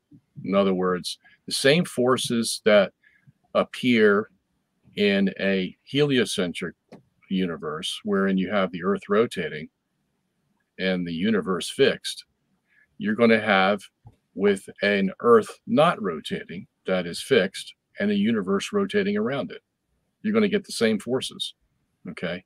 And so what you see moving in the Earth rotating universe fixed frame, that is the Foucault pendulum, the plane of the Foucault pendulum is going to turn around, at least at certain latitudes. You're going to see the same thing if a universe revolves around a fixed Earth. Why? Because a universe re, re, uh, ro rotating around a fixed Earth is, has angular momentum. Angular momentum is going to create a Coriolis force and so the Coriolis force is going to turn the Foucault pendulum. But in but in that frame, it's a real force, the Coriolis force. In the heliocentric frame, the Coriolis force is what they call a fictitious force. Why? Because they blame it on the different directions that the Earth and the um, universe are going. So it's more geometric. But in the geocentric frame, it's a real force, Coriolis force. As a matter of fact, in the geocentric frame, you have three forces that are created by the rotating universe. You have the centrifugal force, you have the Coriolis force, and you have the Euler force. All three of them work together to keep those celestial bodies where they are as the universe rotates. You see, so we have a scientific explanation why those stars don't go to the rim of the universe as soon as the, Earth, uh, the universe rotates. Why? Well, because the Coriolis force is bringing them back in, because all those forces balance. And it is that same Coriolis force that turns the Foucault pendulum. So that's how we explain it. This is all in my book. So it's, you know, it's, it's been there for the last 20 years. So you can get the book and find out for yourself. Okay. Thank you. Um, so Elijah asks, this is another short one, I'm assuming. So, is it true that Albert Einstein believed in geocentrism? Well, he didn't believe in geocentrism as his first go to scientific theory. Okay. But he found out that his general relativity theory forced him to accept geocentrism as a viable and logical model of the universe. He didn't know he was going to get there, but that's what he found when he got to the end of his theory. Okay. So that's why we can use general relativity to support a geocentric universe because Uncle Albert already did it for us. I'm just being the messenger boy, okay, and telling you how it works. Okay, so do any of you think a flat Earth is possible? No, I do. I absolutely do not think it's no. possible. Uh, I will say it can be fun to play devil's advocate in defense of flat Earth to make people realize that they don't know nearly as much about science as they think they do. and I think this is a good. True, yeah. I think this is a good thing. Most people say, "Oh, that's ridiculous," and if you start if you just do some basic research on flat earth and find a few other arguments and start presenting them to people you'll realize how quickly people who think geo- or flat earthers are all dumb don't have a singular response to any of those arguments and it makes people realize oh wait I am just believing the science I do because somebody told me it in public school like 20 years ago, and I somewhat remember it. And it has nothing to do with the fact that they actually sat down and studied why we understand the earth is round. Yeah, I, I agree with you totally on that. And um, I, I, have a book I wrote on on this called "Flat Earth, Flat Wrong," 740 pages long, and I go into the Bible, the history, and the science of the flat Earth issue. But I agree with Gideon. When I went to study it, I going, this is a little harder than I thought it was going to be. Okay, you have to know a lot of science. Let me just give you one example while we're on the question. Um, when you look across Lake Michigan from the um, Michigan side, it's about what 60 miles or so. Okay. Mm-hmm. And on the other side is Chicago, and you you see the Chicago skyline. Okay, now, but but if the Earth is curved, you shouldn't be able to see that skyline at all, because 60 miles of a curve of the Earth is going to put those buildings at least 900 feet under the surface of the Earth in your line of vision, and you won't be able to see them. But every April and May, you can see the Chicago skyline from the other side of Lake Michigan on the Michigan side. Okay. Why is that? Well, I had to go in and study why that was the case. And this was a real mind boggler. Okay. Because even the weatherman couldn't figure it out. But what, what happens is uh, the water starts to get warm around springtime, but not as warm as the air gets in the springtime. So there's like a 10 to 15 degree difference sometimes between the air temperature and the water temperature around April. And so what that does is the, the difference in temperature refracts the light, curves the light. So you that's why you can see the skyline in Chicago mm. from Michigan because the light is bent. But you got to know science in order to get to that point refraction of light and temperature, humidity, all these things are involved. So it can be get quite cumbersome. But that's why it's not as easy as you might think so. I just think the the the the thing that made me so strongly reject flat earth is because there's usually the um the sort of story you'll get behind it about like they're they're not wanting you to there's this hidden knowledge where like you, are okay you you know how you're an anti-darwinist? Well it's basically the same thing but with the earth. I'm like wait a second. You you th- this isn't just like a modern like 19th century innovation. Like i've read people firsthand from the early medieval church who are rejecting flat earth. This, this isn't this isn't something that was just made mm. up in the last two or three centuries. Then your then your theory might have some merit to it. Yeah. Yeah this not... has always been the teaching I'm not convinced even the ancient Israelites believed the earth was flat because the passages that are always cited in scripture, they're always in the context of like poetry or something like that. And if you look in the context, it's clearly just trying to compare the earth to a temple or using base. I mean, we all believe the earth is round. We still use the words up and down constantly. We haven't all said that we're going to stop referring to up and down or even the heliocentrists. They still say, they still talk about the sun rising in the morning. This is all language we just commonly commonly used that we shouldn't assume that because the Israelites use language like up and down that they believed the earth is flat. That's basically what it gets to. Versus, and then they want to say, oh, because that now we can reject, they also believed in a young earth and we can reject that. Well, no, that's always in the context of historical annals that are clearly intended to be historical, and this is not the same thing. Yeah, you're right.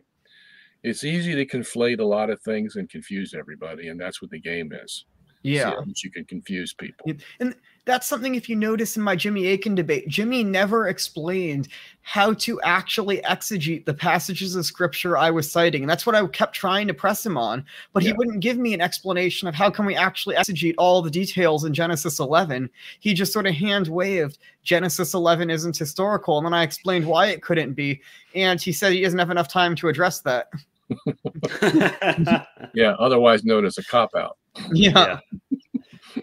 okay, so uh, the other Paul, he asks, question for Sungenis: Do you accept space exploration astronomical astronomical data on the orbit of the planets around the sun? How do you expect Earth from this, if so? How do I expect Earth from this? If... Accept, accept Earth from this, not expectors. Uh, okay, so he means ACC. Okay, accept. Is that what he means? Accept? I, I, no, no, no. I think I think he means accept. it doesn't apply to Earth. Oh, how yeah, do you yeah. exclude Earth from this? Okay. Yeah. Well, we don't. We don't exclude it. Okay. So what? Here's here's what happens. Uh, remember that guy Newton? I t- this is probably a perfect time to talk about Newton. Um, uh, Newton said that the Earth goes around the sun. Why? Well, because the Earth wants to go in a straight line. That's called inertia. The sun won't let it because the sun's gravity pulls the Earth in. So the result is that the Earth goes around in a curved line around the Earth. Okay. So that's the theory of how the, the universe or the solar system works, just if you have the solar system itself. And I would admit that if you just have a solar system and the sun, which is what, 95% of the mass in the solar system, is the only star that you're worried about, and you've got nine other planets, they all have to go around the sun. No questions asked. The question is is the solar system the means by which we judge that motion? Okay. And Newton himself admitted, well, I can't say that. I'm assuming that the universe is stationary and absolute. And that's the way, and that's the only reason I can make my F equals ma equation if I assume the universe isn't moving. But what if the universe was moving? Okay. And the earth was fixed. Well, Newton never answered that question. Okay. That didn't come along until 200 years later when Mach, Ernst Mach came along and said, hey, you know what? We don't have to have a fixed earth. I mean, I'm sorry, rotating earth in a fixed universe. We can have a rotating universe around a fixed earth. And guess what? You're going to see the same things. Mm. Nothing's going to change because it's all relative motion, you see. Mm. So that's how we would answer this question. It doesn't make any difference. You can put the earth in the center, the sun in the center, and all the all the motions and distances are going to be exactly the same you see and that's what makes this a little hard because of the relative motion issue so now you have to go into well what makes them move and who has a better explanation for what makes them move well i think the geocentric one does as i told you about the universe with all its momentum going around and, and earth um, that's why we can have the 23 hour day every day you see because everything's so uniform and stable. Did I answer that correctly? Did, did you think that's a, yes. good answer? Yeah. Uh, I wanted to ask then, is this, do you think one of those things where if you do the first bit of science, it seems like it's leading in one direction, but actually, if you take a step down, you realize it's totally different. Just like it seems like Newtonian mechanics at first was moving away from an Aristotelian view, and actually quantum physics has made us rethink that. Or how it seems like first digging up the fossils that seems to defend Darwin mm-hmm. until you actually do some statistical analysis on them. I think Todd Wood has done an excellent job showing there's significant gaps between different groups of fossils showing that they actually are distinct created kinds no matter how many more fossils you dig up and throw into these models. Yeah, do you think it's uh, something like that that oh yeah yeah yeah it's something like because even newton admitted that. There they found a missing page from his principia a few years ago and i talked to the guy who found it and in that page that was missing newton says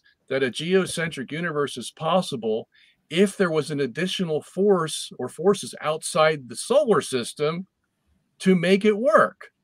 You see, so he knew intellectually that it was possible. He just didn't know where those forces could come from because his universe didn't move. But once you move the universe and allow it to rotate, it creates those forces, you see. So mm-hmm. we're just following in Newton's path. But when everybody, you know, Kant said that Newton was the father of science and Immanuel Kant was a very influential philosopher. See, he had all of Europe following Newton because it looked like it really worked. Okay. And it did. It did work. Hmm. If you just confine it to the solar system, it worked. And it was much better than Galileo or Copernicus because all they did was geometry. They didn't do physics. So hmm. I could see why the world was convinced. Hmm. Yeah, okay. and um, I oh, want to ask on that. It also asks about space exploration. So, do you oh. think that all the claims about space exploration are generally true? Like we've been to the moon and so on. Well, I don't know about the moon issue, but I do mm-hmm. know that we can send satellites up very easily or space probes because they're unmanned. Okay, we don't have to worry about keeping the temperature 70 to 80 degrees. It can get real hot or real cold. So yeah, they're they're easy. So all those Pioneer, everything, you know, I believe in all those. Okay. So, mm-hmm.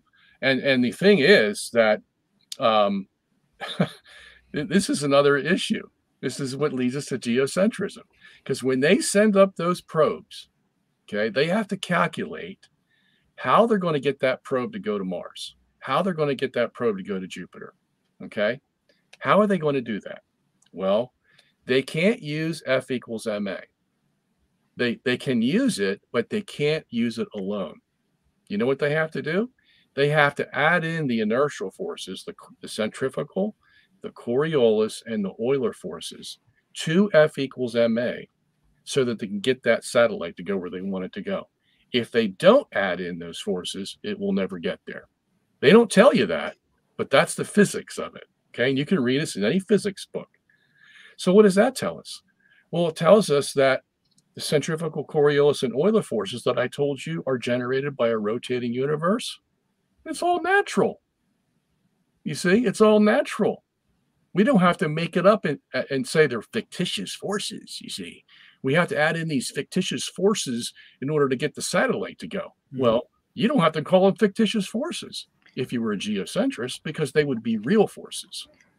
It, one of the moments in the principle I think that struck me the most is the spot where you're discussing um, the Michelson Morley experiment and how you were saying that if it was run on the moon, you would expect a significantly different result because we should we should detect motion on the moon but not on the Earth.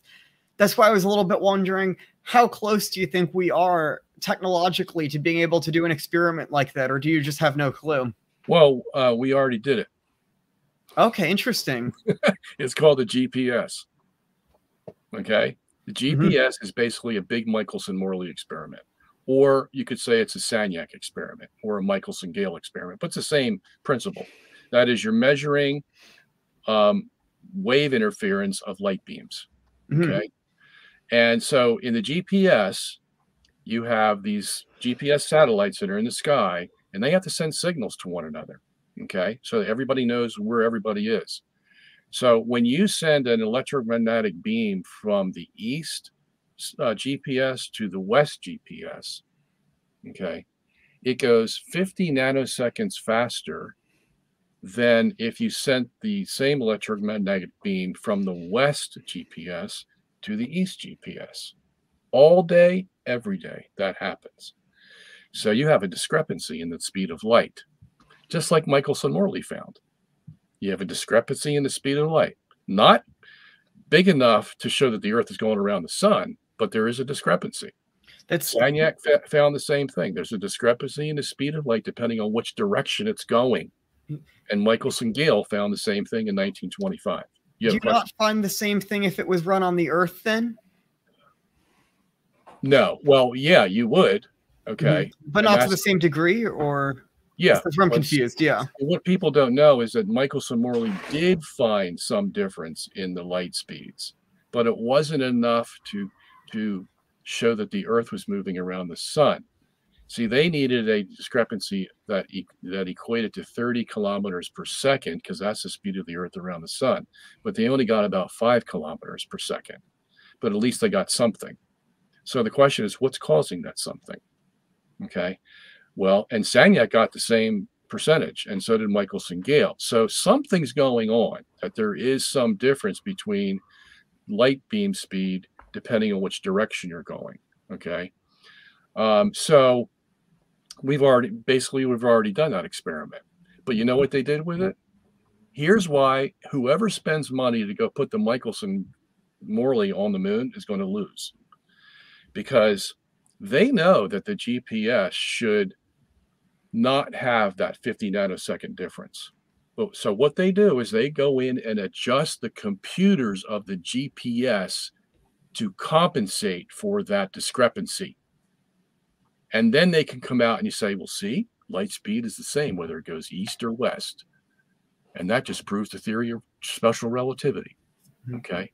So, in other words, it's all chicanery.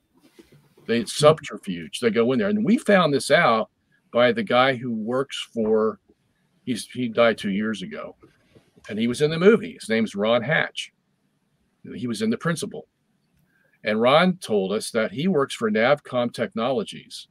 And they have a contract with john deere tractor. And navcom technologies works so that these tractors can be unmanned and go down straight down the field and make furrows for the crops. Okay. And if the GPS is off, that, that tractor is going to go into the ditch, you see. So those GPS have to be precise. So when Ron went into the GPS to analyze them, he saw why they were precise because they they adjusted the computer to take care of this discrepancy of the 50 nanoseconds between east and west and west to east. You see. So you're saying so, these crazy geocent backwards geocentrists, they're actually helping to build devices that are accurately moving things that involve different science because of geocentrism, almost like us crazy creationists and geocentrists are doing real science against our accusers. yeah, well, see, they don't want to believe in the fact that there's a discrepancy in the speed of light. Why? Well, because that'll take them right back to 1905. Because the very reason Einstein invented special relativity was to try to answer all those experiments that were done in the 1800s to show the Earth wasn't moving. Mm. That's why he invented special relativity. So Einstein had two choices either I keep the speed of light fixed or I keep the Earth fixed. Which one do you think he's going to choose? He hated Catholicism. He's always complaining about the popes and bishops. His wife, his wife became a Catholic, and then they divorced because he wouldn't take care of her.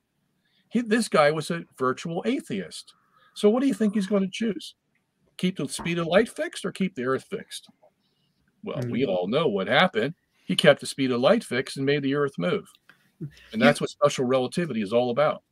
So you made some references to relativity. It seems like, from what I'm getting from you, and correct me if I'm wrong, it seems like you generally agree with general relativity, but not special relativity, or well, you disagree with them both fully. If I had to convince a man of the world that geocentrism is viable under the rubric of modern science, I'm going to use Albert Einstein.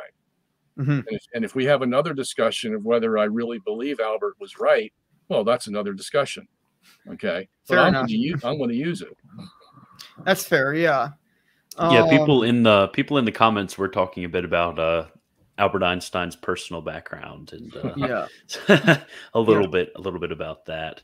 So yeah, there's. I, I, don't want to attack the man ad hominem. That's not my purpose. Yeah, I'm just saying. Look, you have to admit that a lot of these scientists are motivated because they're atheists. Yeah, and mm. it's not. I'm not making it up. Mm. They've told me this. Okay, this is in Darwin too. I, have read quite a bit about Darwin's life. I honestly kind of have a little bit of sympathy for the guy. Um, he yeah. seems like he was a nice guy to hang out with. Um, yeah, but he has this event in his life where his he was actually almost entered the clergy. It never seemed like he really believed all that much. Um, it was mostly just because the being an Anglican clergyman, you got a good salary from the government, and he could then hang out and just do his scientific research with a free salary and only having to work once a week.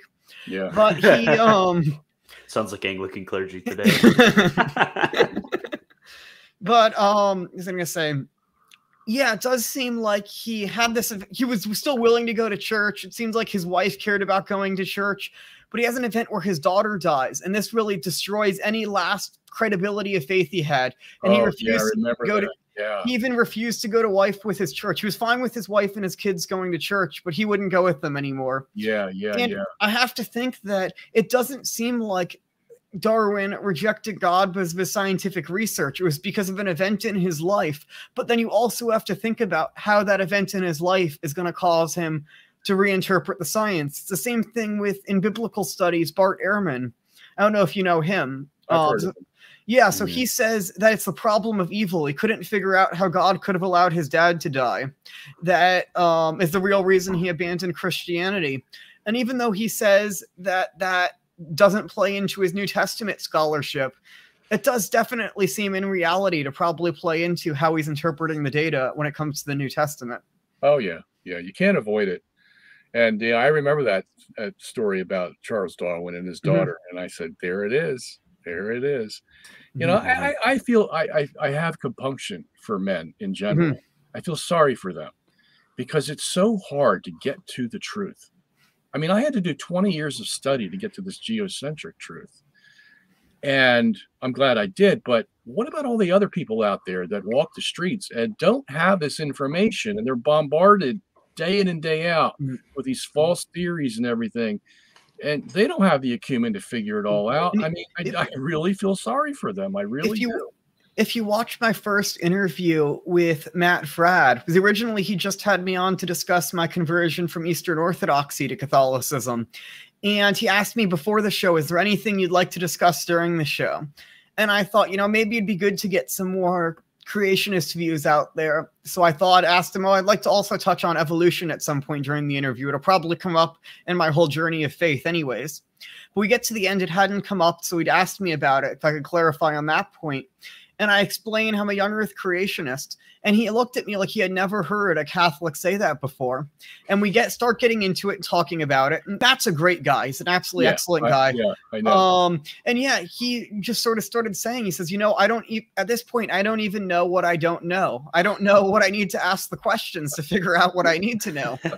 and um, I think that's the case with a lot of Catholics here, is they haven't even begun it to look at it. And if it wasn't for um, my friend Seraphim Hamilton, who runs a great YouTube channel called Cabane the Christian, um, when I was Eastern Orthodox, he really helped show me that no, there actually is good creationist science out there. Yes, maybe what's sort of peddled as sort of the pop apologetics is bad, but there's also real science behind this as well.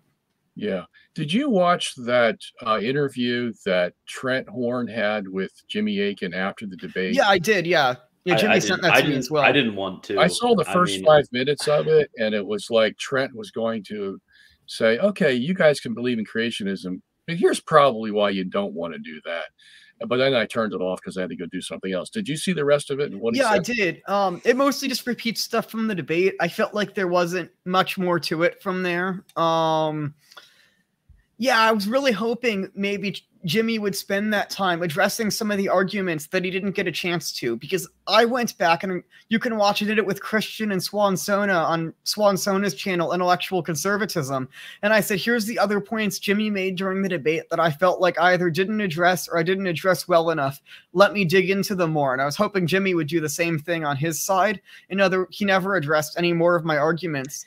And yeah, he also you... repeated some misrepresentations of my arguments yeah. on there as well. Um, I do think Trent Horn is a great guy, and I think I think if someone sat down with Trent Horn, I feel like they might be able to convince Trent Horn. He seems like he's a lot more open on this. I don't know. It just it just feels like when I when I when I listen to people like that, it just feels like they're scared. You know, they're they're yeah. they're, they're scared of looking dumb in, in yeah. front of other people. So so they so and I mean I, I, don't mean to psychologize people, but that that's just the impression I get is like, okay, we we know the creationists look dumb. Like it seems like sacred scripture and tradition and and the magisterium in the past has taught um, this this doctrine. Okay, how how are we able to get out of it so we don't we're not in that genus of people that look dumb.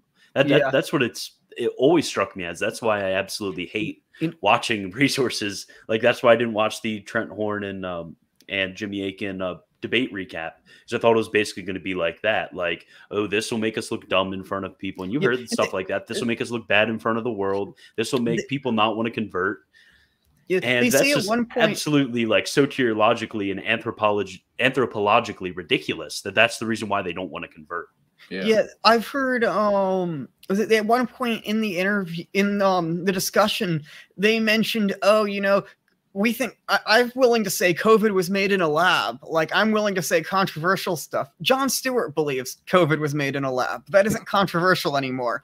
If you if you hold to real controversial views like young Earth creationism, geocentrism, integralism, you will quickly know when you talk to people that your views are actually controversial. You know, like all these people going around saying, you know, I think taxation is theft. That's my real controversial view. You can people be annoyed at you if you say that, but you can articulate that view in a public forum.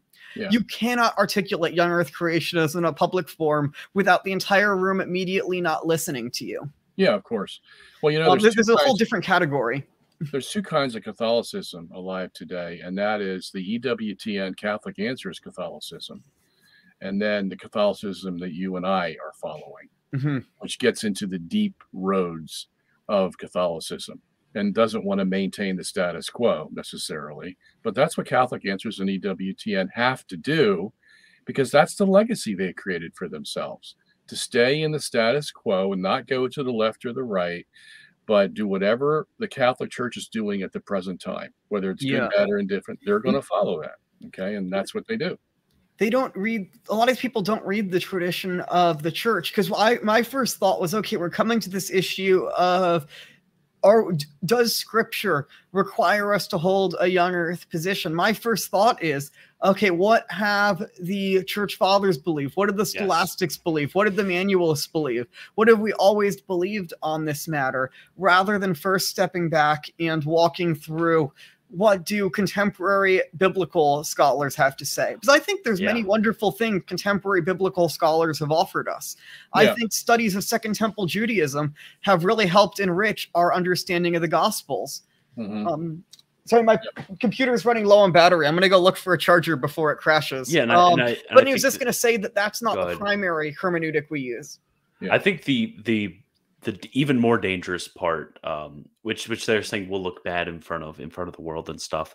I I think from the way in which that crowd that you're talking about, the way in which they go about doing theology, is not the way in which one should do theology. One should do theology by reading the sources of faith and and and reasoning from there in order to form a coherent system from the sources of faith. So sacred scripture the fathers the scholastics it, the way in which you do theology is not just uh, look at the the pope's uh, latest uh, introductory speech to the uh, building of a new wing to the science faculty in the vatican. That's not how you do theology.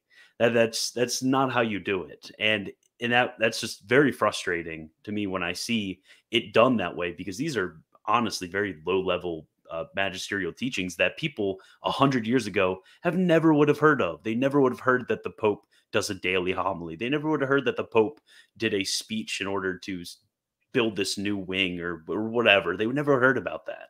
Yeah, well, you have to. Uh, there's one thing. There's your intellectual Catholic, and then there's your average Joe Catholic. You yeah. know, and your average Joe Catholic probably makes up 90% of the church today.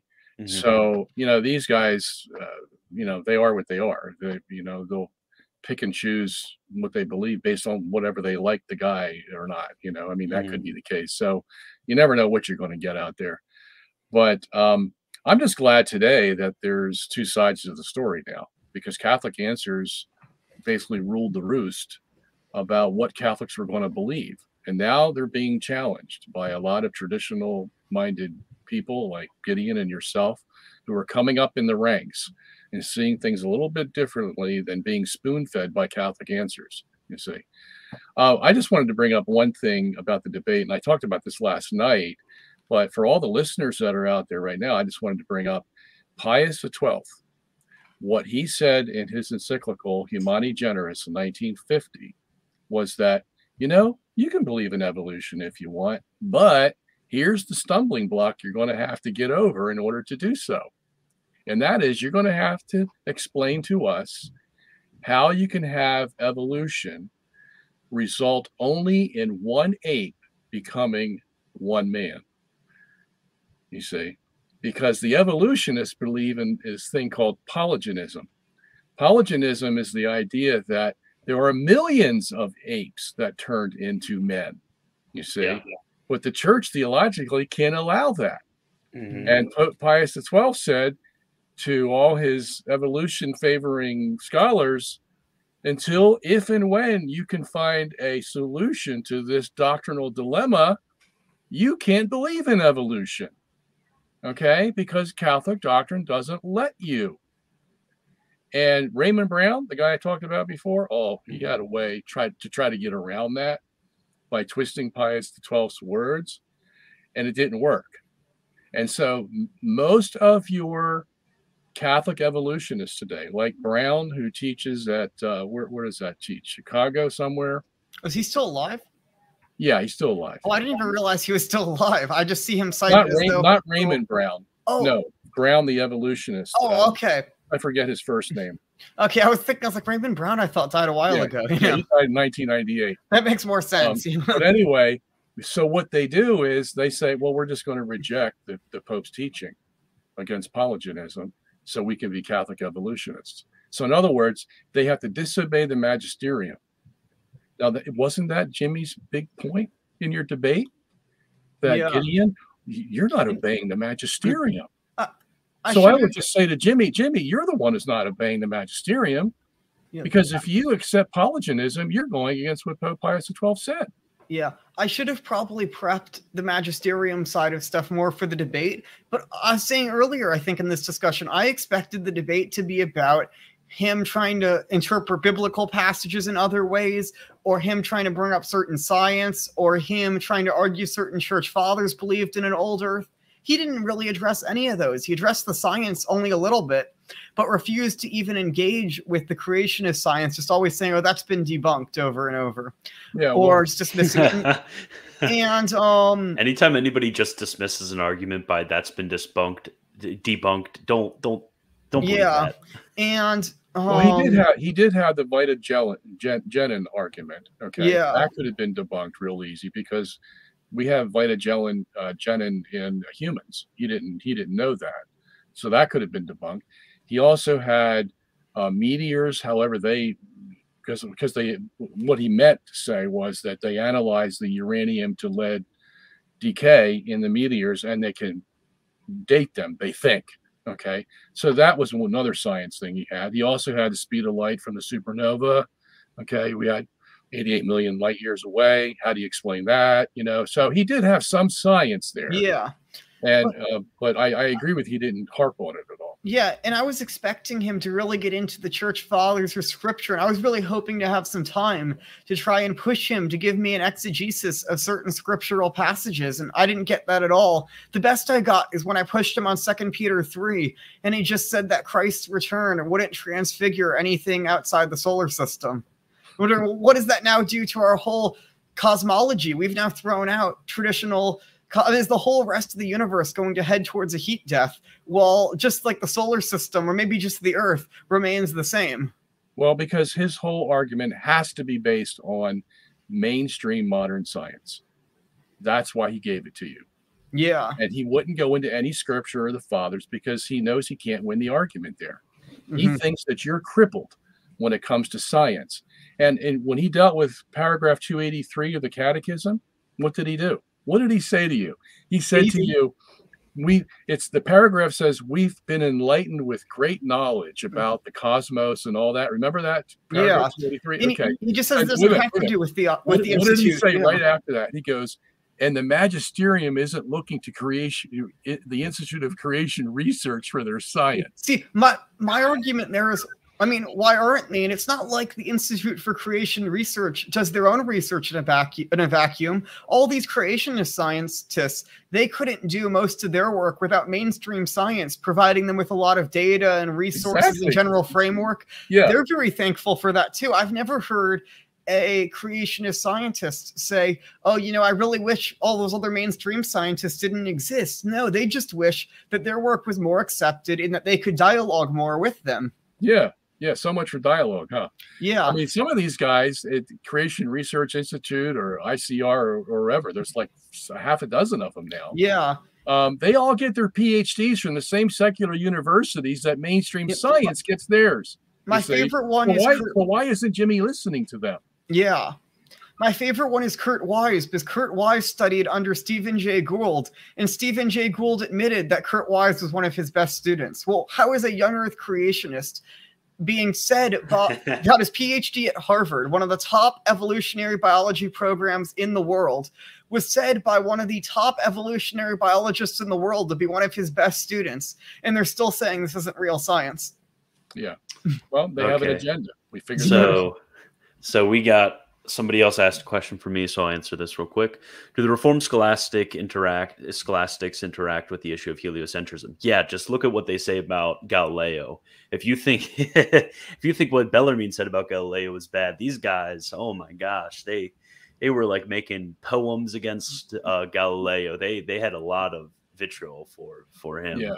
The uh, the uh, Orthodox among them. Then, of course, when when all of their strongholds fell in the mid to late 17th century, you don't really get much much coming from them anymore. Guys, excuse me. I have to run into my basement here to turn my water off because it's running. So I'll be right back.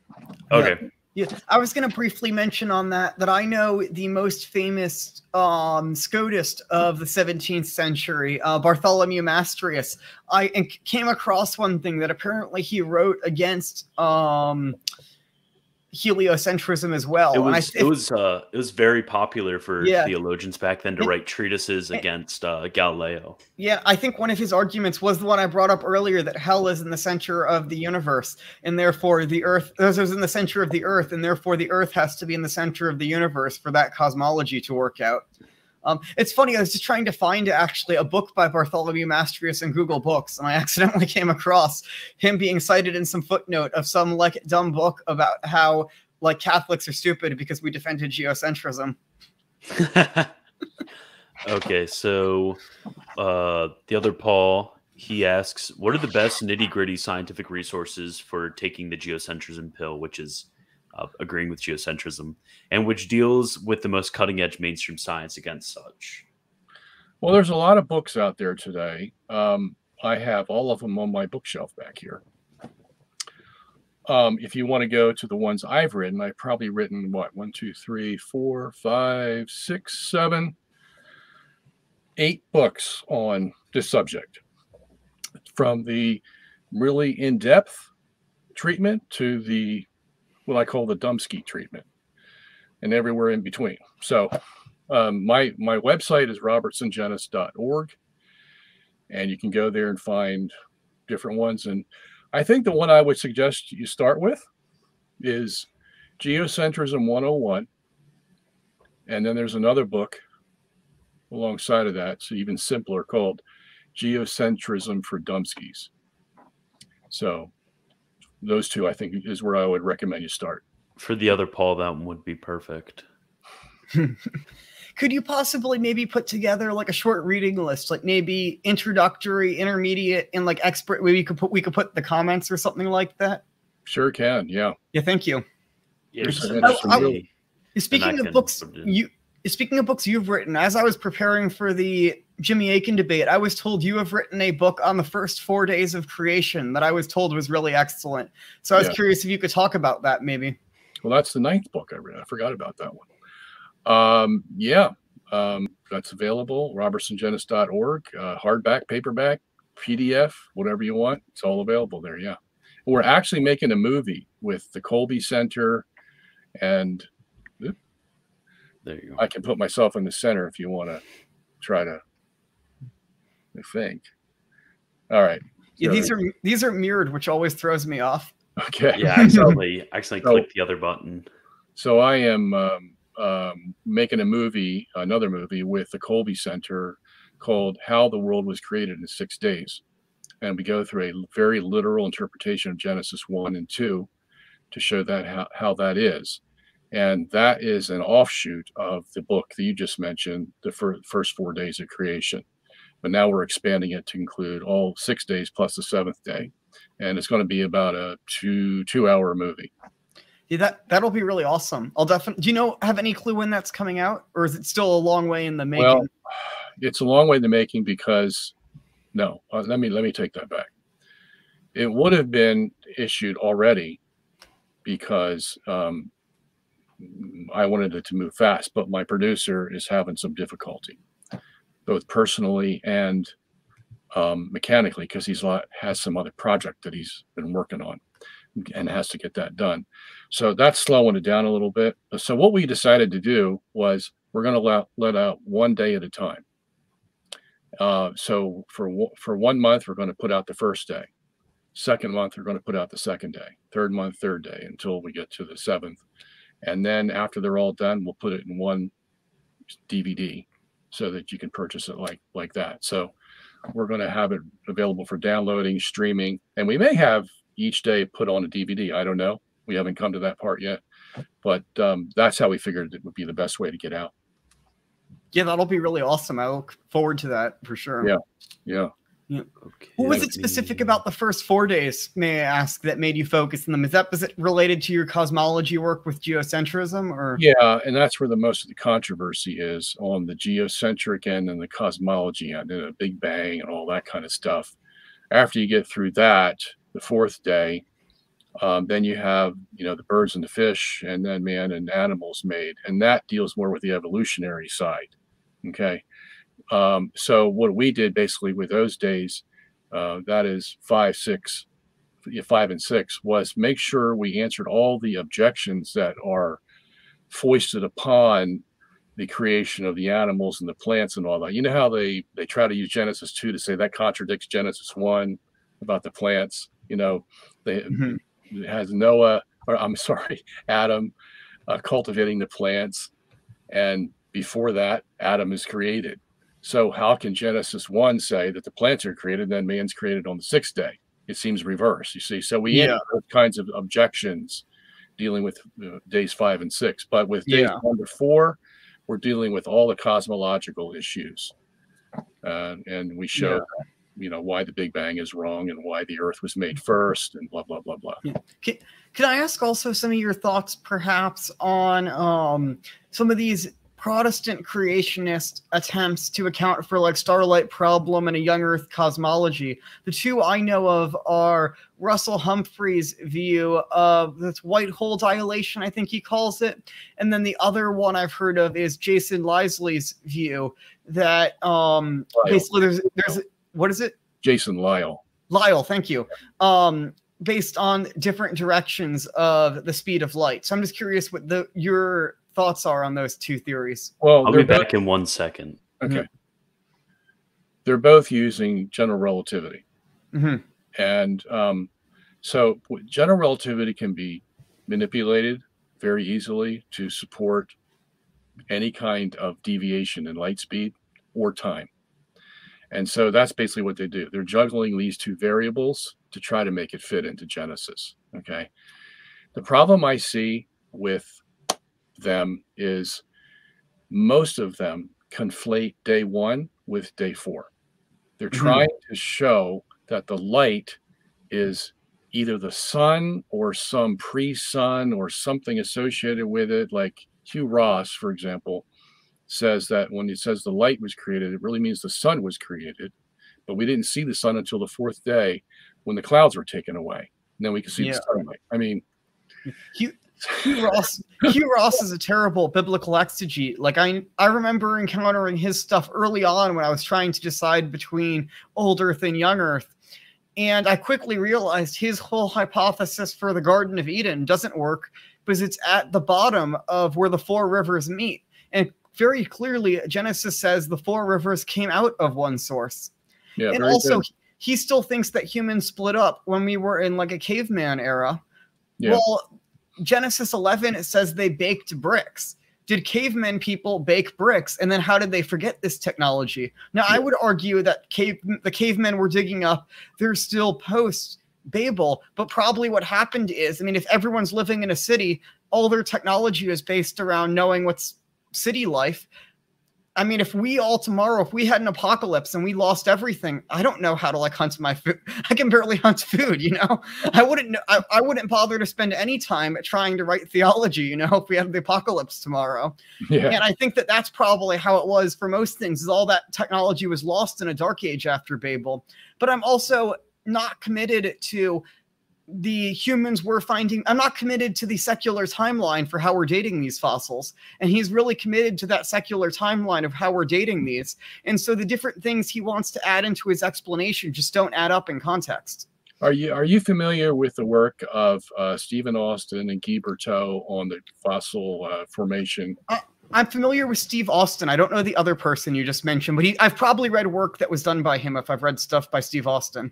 Guy Berthault um, he's in France, and he basically did the next step of where Stephen Austin and some of these mm-hmm. other guys had led the the investigations. And basically, what he found was by experimental evidence, using flumes and water and soil and all that, and then digging uh, in beaches for and examining the soil. So it's all empirical. It's not just mm-hmm. made up in his head. Um, he came to the conclusion that the geologic uh, column was created both by vertical and horizontal sediment yeah. uh, uh, layers. Okay. And once you do, once you incorporate the vertical and the horizontal together, it can be very rapid. It doesn't have to wait for one horizontal layer to be finished for the next one to be yeah. on. Uh, I was reading in preparation for the debate. I was rereading uh, Leonard Brand's excellent book, um, "Faith um, reason in Earth history or something like that. It's actually yeah, it's his basically his textbook he wrote as an introduction to creationism. And it's actually totally free on Kindle. He put really nice. He put that out there, and I was reading his explanation of how the layers were formed, and he was suggesting especially turbidity currents as a possibility. And I actually looked up how they're formed. You can actually watch videos of yeah. them in labs recreating turbidity currents. And it's really fascinating watching yeah. just how quickly a layer of rocks can form. If you watch these, it's a giant layer of dirt just moving in, settling in rapidly. Well, this could easily wipe out like a continent-sized area if you had a, if you had a worldwide flood and move that like the distance of a continent, lay it all down. And what something that I harked on with Jimmy Akin never responded to about the science is in layers that all these creationist scientists are for, say are formed by the flood. We have like continent-sized areas that were clearly laid down in one singular motion, and this is because Leonard Brand and some of his students have measured the paleo paleocurrents at many different sites around the world and have shown these are continent-sized areas that were laid down at once. And he's published his research on this in Nature magazine. This is not some out there creationist magazine. This is like the most mainstream journal you can possibly get. Yeah. Of course, he doesn't draw the creationist conclusions. He just talks about all the paleocurrent data he's collected. It yeah, just well, sort of leaves it out there. But a lot of these guys do the experimentation and thinking for us, the sort of pre-thinking, and then we just jump on what they have produced and mm-hmm. show how it fits into the creation yeah, model. It, you know? And Brand, Brandt himself is a creationist, so he's just putting this out there. He knows his students are going to draw the right conclusion, but he knows he can't publish it ex, ex, uh, in Nature unless he's not willing to draw that. He was also looking at the burial of a whale fossil and trying to argue this was formed by the flood. And he suggested it was a very, very local flood in the paper he submitted to um, Geology, another ma major mainstream journal suggesting, oh, they're not going to buy it. They're going to Google me and find my creationist credentials, and they're not going to publish me if I suggest anything like a giant flood. And he actually got back from a peer reviewer saying, actually, the data you're suggesting here would only fit with a very, very large flood. So you better go back and revise that. yeah, it's funny how all that information seeps to the surface. You know, yeah, you never know when it's going to come out. I have a uh, PhD in nuclear physics. Mm-hmm friend of mine in Croatia, and um, he read my books on geocentrism and was convinced that it was correct.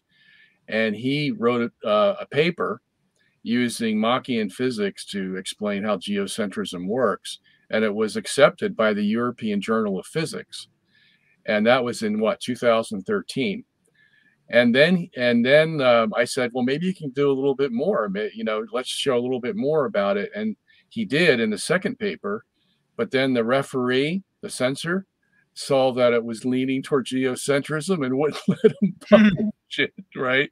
Yeah. So he got the sting. And and so whenever I contact him now about doing something for geocentrism, he's he's always cautious now. Yeah. Because he has this prestigious job in Croatia as a nuclear physicist and doesn't want to lose it. Yeah. Yeah, I think a lot of people don't realize. I think peer review is this perfect process, but I mean, the peer reviewers are other humans sitting on the other side, and they're liable to all the same biases or mistakes as other humans. Oh yeah. A great documentary I watched recently about this guy working in um, physics in the early 2000s for Bell Labs, and he actually possibly almost won um, the Nobel Prize for his work Turns out 100% of his papers were all forgeries. And they caught him eventually because he was becoming so famous that he got so lazy and caught up in his own fame that he started publishing the same forged graphs with the exact same noise within the graph and just changing the labels on them. And somebody eventually caught him on that when they were reading multiple of his articles. Yeah. And and they started going back and realizing that he would within 10 days publish a paper that if he spent every waking minute doing the experiments he was describing and could do them faster than any other person ever, it would still take multiple years of nonstop work to have done this paper that he supposedly did in 10 days. Yeah. And it was just incredibly sloppy stuff like that you have to wonder how many other people get away because they're a little less sloppy or just no one they're not as famous so no one catches them yeah i have a whole um, chapter in my book galileo was wrong about the chicanery and subterfuge that goes on in science today mm-hmm.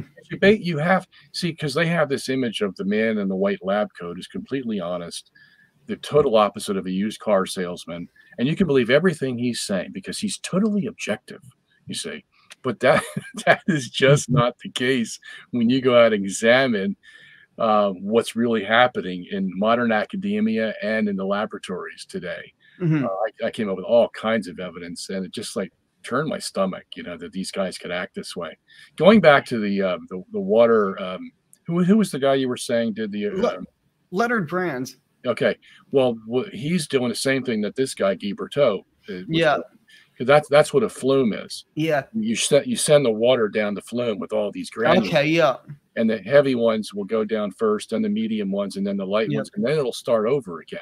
Yeah. It'll put the it'll put the heavy ones on the light ones, and then the medium, and then the light, and then the heavy, medium, light, until it forms this pattern, which is a geologic column. Yeah. You know, Yeah, yeah. Le- Leonard Brand um, is a Seventh Day Adventist, so he's been a little bit probably more removed from probably the more sort of mainstream within creationism, creationist research. Uh, but there has seemed to be better dialogue in recent years. One of his students, um, Art Chadwick, who he's done a lot of work with, appeared, for example, in the Is Genesis History documentary. Which that was such a wonderful documentary where I think it really brought together the best people in contemporary creationist science and let them it's unfortunate they each got like five minutes to explain their views but if you go on their youtube channel they have like hundreds of hours of interviews with these people that they've now all put up online you can go into interesting. When my um, my uh, son was in eighth grade, he had to do a science experiment, and I was just getting into Guy Berthault and all the geologic column, and I said, "Hey, Mhm. here's one we could do," because I saw somebody else do it, and I wanted to see if I could replicate it. And what we did is, and I have a picture of it somewhere. I don't know if I can find it, but anyway, we we built a plastic, clear plastic, triangle shaped container that was very thin. In other words, you could put a little bit of stuff into it and you could see what's going on when you looked at the outside because it was Mhm. clear. Okay. So what we did was we, we made this triangle and then we put a hole at the top here. Okay. And we got three different um, sizes of grains. We got we got big ones, like you know, about that big, and then small little smaller ones, and then the smallest. So we had three different grain sizes. We mixed it all up, and then we poured it through the top of the triangle here. Okay. yeah I poured it through the top of the triangle. Look, there we go. And guess what happened? So as the they're forming the col- they're forming the different layers forming different layers, heavy, medium, light, heavy, medium, light. I couldn't believe seeing it with my own Yeah. eyes. yeah th- Yeah, there's a um But wait, wait a minute. He took it to sorry yeah took it to his science uh, fair experiment, and um, everybody looked at it and said, "What's that?" You know, like nobody had a clue what he was doing. yeah It was too way over their heads, but it was something I'll never forget when I saw that forming in that triangle. It was just amazing. Anyway, go ahead. Yep. Yeah, I was going to mention um, some of the people who worked on Is Genesis History. They partnered with another company, Compass Classroom, which is a company trying to provide resources to homeschooling creationist families. And um, they're just working on creating a new course. Unfortunately, there's not much information about it. I almost want to enroll as like an adult on it so I can get more information. But looking at um, creationist science, and it looks like part of it is you actually have to do experiments recreating certain creationist things, probably similar to some of the stuff you're describing. And it's designed for high schoolers so that they will actually do, hopefully, possibly even contribute new research to creationism and, and also just learning these creationist models. Because part of the problem is there's no resources out there to, for, to teach this to kids. I encounter this problem working in schools. I like talk to um, a number of my coworkers, and they're very sympathetic to my views. I don't happen to teach the science class. Um, but I could easily see if they wanted to try and introduce some of this stuff to the science class, there's often not very good resources out there. And I think one of the big next steps that has to be done now that we've done a lot of the good research is to present this research to young people so that they can learn because I don't think we realize how much of our views are formed when we're young. I don't think this has to be propaganda. We're just just like the evolutionists present them with evolution, we should present them with creationism. And just like they present them with real evolutionary science, we should present them with real creationist science. You got that right. Yeah, Raymond Brown, he says, when when you're teaching children about the Bible, all you want to do is read the first verse of Genesis 1 and then close the book. And if he and if he insists on reading the rest of it, you just tell him, well, that's just myth and legend. You don't have yeah. to. I've just over the course of this year, and I'm at a very, very traditional Catholic school. I'll talk with the kids about certain Catholic teachings, and they just simply never knew. And I know their parents; their parents are very good Catholics, but a lot of them simply don't know what to teach the kids. And so I'm teaching them even basic things like um, we're going to talk about transubstantiation. I was talking about substance accident distinction, and they had simply never heard of this before. Well, it's because we've never presented them with te- the teachings of the Catholic Church on so many different things. Um, and I think it's you teach uh, five, uh, fifth grade and sixth grade. I uh, seventh and eighth grade mostly, but I teach a little bit in ninth grade, and then I also tutor kids from everywhere from like fourth grade to like tenth grade. So okay, so when I send you these two books, Geocentrism 101 and yeah, I want you to to look through them and tell me if your students would would consider them like a good school material for their level of intellect and their yeah. experience. And let me know because yeah, i can transform them into uh, homeschooling stuff or oh, that, that, would be excellent. I love to work with you on that. Yeah i might throw it in um, over to one of my um, tutoring kids because that's easier to do than but for example in my um what was it class we're in my english class we're going through as mentioned earlier that poem from shakespeare that actually it really is predicated upon traditional views of cosmology and geocentrism, or else Lorenzo's whole argument of why Jessica shouldn't be worried doesn't work. And I just sort of presented the traditional Ptolemaic view of astronomy to them about the um, sublunary and superlunary zones, and just sort of explaining the worldview of the people who wrote this poem because I hated Shakespeare when I was in school because I didn't know the worldview of Shakespeare at all. I knew nothing about the medieval world. And now, having spent, I was a double major in classics and um, medieval studies. So I got a lot of this background in college. And then going in now and rereading Shakespeare, I'm like, oh, now I actually understand what in the world he's talking about. and I'm able to present that material. So, yeah, I think it would be really wonderful if we could have better resources. There's a great book. I want to pitch this again to people called Fossils in the Flood by Paul Garner. This book just came out recently. Paul Garner is a creationist geologist, and he worked on the text of this book with a whole bunch of other creationist scientists and he worked with a woman at his church who does illustrations and did lots and lots of illustrations. So you can see, for example, here's what part of the pre-flood world looked like. And he goes in and labels the different things. He talks about, he has a whole section on fossils where he talks about how do we know this material. He has a section, one of my favorite sections in this book, is this page where he tries to explain how the floodwaters successively buried different layers of sediment here.